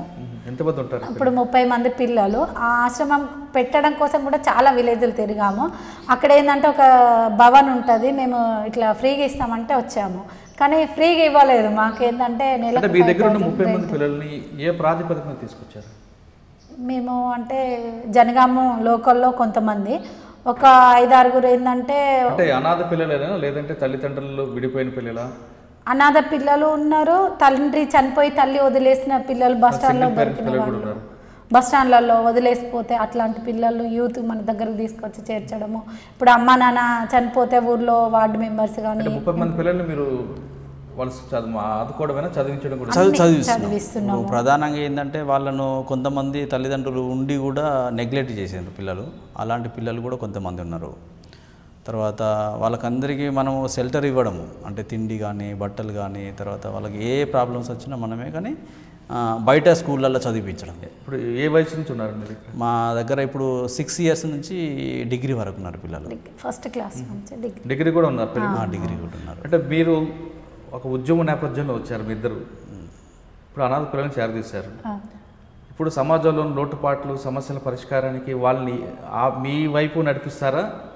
లేదు ఇప్పుడు సమాజంలో సమస్యలు ఎదుర్కోవడానికి చాలా వేదికలు ఉన్నాయి ఆ వేదికల ద్వారా పరిష్కరించుకోవాలని చెప్తున్నారు. అయితే ఫస్ట్ మేము వాళ్ళకి ఏం చెప్తున్నామంటే పిల్లలకి మీకున్నటువంటి పరిస్థితులలో ఎలా ఉండాలి? అంటే త ఫస్ట్ తన కాలం మీద తను నిలబడడానికి సమాజంలో నిలబడాలంటే ఫస్ట్ నీకు ఎడ్యుకేషన్ కావాలి. ఈ ఎడ్యుకేషన్ అనేది లేకపోతే ఏంటంటే నువ్వు ఏమీ చేయలేవు. ఈరోజు ఒకప్పుడు ఏంటంటే చదువు లేకపోయినా కూడా ఏదో ఒక పని చేసుకునేటువంటి పరిస్థితి ఉండే. ఈరోజు చదువు లేకపోతే ఎలాంటి అభివృద్ధి అనేది లేదు. కాబట్టి ఖచ్చితంగా మీరు చదువుకొని మీ కాళ్ళ మీద మీరు నిలబడి ఇంకో పది మందికి మీరు సహాయం చేయాలి. మీరు నేర్పుతున్నారు? మేము పిల్లలకి ఏంటంటే సెల్ఫ్ కాన్ఫిడెన్స్. ఆడపిల్లలు మేమేంటంటే మెయిన్గా ఆడపిల్లల్ని పెంచుతున్నాం. అబ్బాయిలు ఎక్కడైనా బతకగలుగుతాడు ఆడపిల్లకి తొమ్మిది నెలల పాప నుండి అరవై ఏళ్ళ ముసలావిడ వరకు కూడా సెక్యూరిటీ లేదు. ఎప్పుడు ఎవడు ఏం చేస్తాడో అంటే రాక్షసు మీరు ఆశ్రమంలో అందరూ ఆడపిల్లలే. వాళ్ళకి కరాటా శిక్షణ ఇవ్వడము యోగా క్లాసులు సెల్ఫ్ డిఫెన్స్ అంటే మోరల్ సపోర్ట్ వాళ్ళకి ఫస్ట్ చదువుతో పాటు సంస్కారం అనేది నేర్పిస్తున్నాము. మేమే చిన్నతనంలో తెలిసి తెలియని వయసులో అడవి బాట పట్టి తుపాకులు పట్టుకొని తిరిగినాము. అలా కాకుండా యువత ఏంటంటే ఈరోజు నేను యువతకు కూడా ఒక మెసేజ్ ఇస్తాను. అంటే అమ్మాయిల్ని అబ్బాయిల్ని కూడా సమానంగా పెంచాలి. ఇప్పుడు అమ్మాయిల్ని బయట తల్లిదండ్రులు ఏం చేస్తారంటే అబ్బాయికి ప్యాకెట్ మనీ ఇస్తారు. వాడు ఎక్కడన్నా తిరిగినా ప్రశ్నించరు. అదే అమ్మాయి ఒక one hour half an hour late వస్తే ఎక్కడ పోయినామని చెప్పి తల్లి తండ్రి కొట్టడము అడగడము ఇలాంటివి జరుగుతున్నాయి. అదే పని అబ్బాయి కూడా చేయాలని చెప్పేసి నేను అనుకుంటున్నాను. ఇప్పుడు అబ్బాయి లేట్గా వస్తే అబ్బాయిని ప్రశ్నించాలి. ఫస్ట్ రోజు వాడు ప్రశ్నిస్తే సెకండ్ రోజు లేట్ రాడు. అట్లా ఏంటంటే మిగతా అమ్మాయిలు కూడా వీళ్ళు కాపాడిన వాళ్ళు అవుతారు. వాడు చెడుదారిలో పట్టడు తాగడు కానీ లేకపోతే ఇంకా ప్రతి దానికి కూడా అడాక్ట్ కాడు అనమాట దోస్తులతోటి పోయి ఏంటంటే వాడు చేస్తున్నాడు నేను చేస్తాను నేను స్మోకింగ్ చేస్తాను ఇలాంటివి వస్తున్నాయి. అలాంటివి కాకుండా వాడికి కూడా టైం అనేది పెడితే ఏంటంటే అమ్మాయిలాగా అబ్బాయి కూడా పెరగగలుగుతాడు. అట్లా బయట సమాజంలో జరుగుతున్న అన్యాయాలు ఇప్పుడు అకృత్యాలు ఇలాంటివి కూడా తగ్గించవచ్చు మనము. అలా అని చెప్పేసి ముందు తల్లిదండ్రుల పెంపకం నుంచి కరెక్ట్ రావాలంటారు. ఫస్ట్ తల్లిదండ్రులకు అవేర్నెస్ ప్రోగ్రామ్ ఇవ్వాలి మనం. తల్లిదండ్రుల నుంచి రావాలి. పెంచడంలో డిఫరెంట్ కాకుండా తల్లికి అంటే బాబును పాపని సేమ్ పెంచాలి. వాళ్ళిద్దరికి సేమ్ కాకపోతే ఆడమగానే తేడా తప్ప మిగతా అన్నిట్లలో సేమ్ అన్ని రంగాల్లో కూడా ముందుంటారు. అమ్మాయిలు కూడా మిలిటరీలో ఉంటారు ప్రతి దాంట్లో ఉంటారు. అమ్మాయిలు ప్రతి దాంట్లో యాక్టివ్గానే ఉంటారు. అబ్బాయిల కంటే ఇంకా అమ్మాయిలే యాక్టివ్గా ఉంటారు. కాకపోతే వీళ్ళ వాళ్ళని గుర్తించలేకపోతారు. అబ్బాయి మగాడన్న ఫీలింగ్ తోటి అబ్బాయిని స్వేచ్ఛగా వదిలేస్తున్నారు. అమ్మాయిని ఒక పంజరంలో లాగా పెంచుతున్నారు అనమాట అలా కాకుండా ఇద్దరిని ఒకే ఒకేలా సమానంగా పెంచితే వాళ్ళకి వ్యత్యాసాలు అనేటివి ఉండవు. ఇంకో మహిళను చూసినప్పుడు నా చెల్లో నా అక్క అనే భావన కలిగేలా మన తల్లిదండ్రులే పెంచాలన్నమాట. అట్లా చెప్పండి ఫైనల్గా మీరు ఉద్యమ నేపథ్యం ఉన్న గ్రామం నుంచి బయటకు లోపలికి వెళ్ళి చాలా కాలం ఉన్నారు చాలా యాక్షన్ టీమ్ చేశారు తర్వాత వచ్చి ఇప్పుడు అనాథ పిల్లల్ని తయారు చేస్తున్నారు. మంచి కార్యక్రమం ఇది. మీలాంటి వాళ్ళకి ఇప్పుడంటే ఇప్పుడు యువత కొంత రకరకాల మార్గాలు వెళ్తున్నారు. టెక్నాలజీ చేతిలో ఉందని. అటువంటి వాళ్ళకి మీరు ఇచ్చే మెసేజ్ మెయిన్ మెసేజ్ ఏంటంటే ప్రజలు ఇప్పుడు యూత్ ఏంటంటే సోషల్ మీడియాకు బాగా అట్రాక్ట్ అయ్యారు. ఉద్యమానికి పోవడానికి నాకు తెలిసిన మేరకు ఎవరు ముందుకు రావట్లేదు. పోరాటంలో అంటే దోపిడీ విధానంలో చేంజ్ వచ్చేసింది. ఒకప్పుడు దొరలు ఉండే ఇప్పుడు ఆ దొర విధానం అనేటువంటిది గ్రామాలలో సరే ఎవరు ఉద్యమం నక్సలైట్ ఉద్యమం ద్వారా తగ్గినప్పటికీ కూడా ఇప్పుడు ఆ పరిస్థితి లేదు. కాబట్టి ఏంటంటే మెయిన్గా ఏంటంటే ఈ రాజకీయ పార్టీలు ఏవైతే ఉన్నాయో వాటిల్లో ఉన్నటువంటి వాళ్ళు ఏదో ఒక రాజకీయ నాయకుని దగ్గర ఉంటే మనం ఏదైనా చెలాయించుకోవచ్చు. అనేది ఒక యూత్లో ఒక ట్రెండ్ వచ్చేస్తుంది. అది పోవాలంటే ఫస్ట్ రాజకీయ భవిష్యత్తు అంటే ప్రజల జీవన విధానం మారాలంటే యూత్లో విద్యార్థులకు మార్పు రావాలి. ఒక ఓటేసేటప్పుడు పైసలు తీసుకోకుండా ఉండాలి మనం. ప్రధానమైనటువంటి ఒక గవర్నమెంట్ ఎంప్లాయీ ఉండి కూడా లంచాలు తీసుకోవడానికి ఇప్పుడు ప్రధాన సమస్య అదే అవుతుంది అనుకుంటాను నేనైతే. ఎందుకంటే తను తీసుకోవడం యువత ఏ మార్గంలో వెళ్ళాలంటారు? వాళ్ళ యువత మంచి మార్గంలో వెళ్ళాలంటే మెసేజ్ చెప్పండి. యువత మంచి మార్గంలో వెళ్ళాలంటే ఇప్పుడు మీరు మాట చెప్పారు. పొలిటికల్ పార్టీల వెనక తిరగడం అనేది కరెక్ట్ కాదు. ముందు వాళ్ళ భవిష్యత్తు ఉండాలనేది అంటే మంచి విద్య అనేది అవసరం. ఈ విద్యలో ఏంటంటే విలువలతో ఉన్నటువంటి విద్య కావాలి. ఆ విలువలతో ఉన్నటువంటి విద్యతో పాటు ఏంటంటే మళ్ళీ వీళ్ళు నేర్చుకొని వదిలేయడం కాకుండా దాన్ని ఇంకో నలుగురికి చెప్పి దీన్ని ప్రశ్నించే తత్వం పెరగాలి. ఒక దిక్కు అన్యాయం జరుగుతూ ఉంటే ఆ అన్యాయాన్ని నాకెందుకులే అని వదిలేసే పోతున్నారు. ఎంతసేపు చదువుకొని మేము ఇది చేయాలని ఉన్నప్పటికీ కూడా తను బాధ్యతలు అనేది కొన్ని పెరిగేసరికి దీన్ని పట్టించుకుంటలేడు. కాబట్టి ఏంటంటే ప్రశ్నించే తత్వం అనేది పెరగాలి. అప్పుడులో కొంత మార్పు వస్తుంది. ఇప్పటికీ అనేక రకమైనటువంటి మార్గాలు ఉన్నాయి ఇంతకుముందుకు ఏంటంటే మన వాయిస్ను బయటికి చెప్పలేనటువంటి పరిస్థితి ఉండే ఇప్పుడు నువ్వు ఏది ప్రశ్నించాలనుకున్నా సోషల్ మీడియా ద్వారా నీ భావస్వేచ్ఛను ప్రకటించేటువంటి ఉంది కాబట్టి ప్రజల్లో మార్పు వస్తుంది. అది ఏంటంటే మన నుంచే స్టార్ట్ చేయాలి. ఎవరైతే దీన్ని యూత్ నేను కొన్ని ఏం చేస్తే అవుతుందా? ఇప్పుడు సాయుధ పోరాటం చేయాల్సిన అవసరం లేదు. అనేక రకాలుగా ప్రతి విషయాన్ని కూడా ఎవరైతే మనకు లంచం తీసుకుంటాను అనుకున్నా మన పని చేస్తలేడు అనుకున్నా కూడా విత్ ఇన్ ఫ్యాక్షన్ ఆఫ్ సెకండ్లలో వైరల్ అయిపోతుంది. కాబట్టి ఏంటంటే మనం మార్పు కోసం ప్రయత్నం చేస్తే అవుతుంది కాబట్టి ప్రధాన మార్గం ఏంటంటే యూత్ దగ్గరనే ఉంది. డబ్బులు తీసుకోకుండా ఓట్లు వేయాలి ఓటు వేయ- వేయాలి. తర్వాత ప్రశ్నించేటువంటి తత్వం పెరిగి మంచి లక్షణాలు వాళ్ళు తోటి మిత్రులకు చెప్పడం ద్వారా ఇది డెవలప్ అవుతుంది అనుకుంటున్నాను నేనైతే. విలువలతో కూడిన విద్య చాలా అవసరం అంటున్నారు బక్కన్న ఒక విద్య నేర్చుకోవడం కాకుండా ప్రశ్నించే తత్వం ఉండాలి. మనకు ఎందుకులే అని కాకుండా ఎక్కడ అన్యాయం జరుగుతుందో అన్యాయాన్ని ప్రశ్నించండి. దానికోసం తుపాకీ పట్టాల్సిన అవసరం లేదు. దానికి చాలా మార్గాలు చాలా వేదికలు అని అంటూ సూచిస్తున్నారు. మరోవైపు సుగుణక్క చాలా స్పష్టంగా చెప్పారు. అమ్మాయి అయినా అబ్బాయి అయినా తల్లిదండ్రులు సమానంగా పెంచాలి. అమ్మాయి ఆలస్యంగా వస్తే ఎలా ప్రశ్నిస్తామో? అబ్బాయిని కూడా అదే విధంగా ప్రశ్నిస్తే ఖచ్చితంగా నేరాలు జరగకుండా ఉంటాయంటూ సూచిస్తున్నారు. ఒకప్పుడు ఉద్యమ బాట నుంచి పోలీసుల వేది నుంచి భిన్న మనస్తత్వాలు ఉన్న ఇద్దరు కూడా అడుగుబాటు పట్టినా అక్కడ మనస్తత్వం మాత్రం ఒకటే మారింది. తుపాకీ వల్ల సాధించలేకపోయినా వాళ్ళు లక్ష్యాన్ని మాత్రం చేర్చుకున్నారు. వాళ్ళు ముందు వెళ్ళే లక్ష్యం పేదలకు సేవ చేయాలి బయటకు వచ్చిన తర్వాత అదే పేద పిల్లలని అనాథ పిల్లల్ని ఆశ్రమిస్తూ వాళ్ళు చాలామందికి రోల్ మోడల్ అయ్యారు. వాళ్ళు చేస్తున్నట్లుగా కొంతమంది మాజీలు చేస్తున్నట్లుగా దందాలు చేయకుండా అనాథ పిల్లలకి ఆశ్రయం కల్పిస్తూ పది మందికి ఆదర్శంగా మిగిలారు. ఇది వారం సుగుణక్క పక్కన్న ఎక్సలుజెంటరీ వచ్చేవారు బరో గెస్ట్తో మళ్ళీ కలుద్దాం. అంతవరకు నమస్కారం. Hello this is Renu Desai. Please subscribe to I dream subscribe I dream please subscribe I dream please subscribe to I dream for more videos subscribe I dream hi this is Revathi Chowdary for more videos please subscribe I dream నా పేరు Taneti Vanitha. Women and child welfare minister for more videos please subscribe I dream for more videos please subscribe I dream మీరందరూ కూడా I dream ఛానల్ని subscribe చేయాలని కోరుకుంటున్నాను. I'm Sucharitha home minister of Andhra Pradesh for more videos subscribe I dreams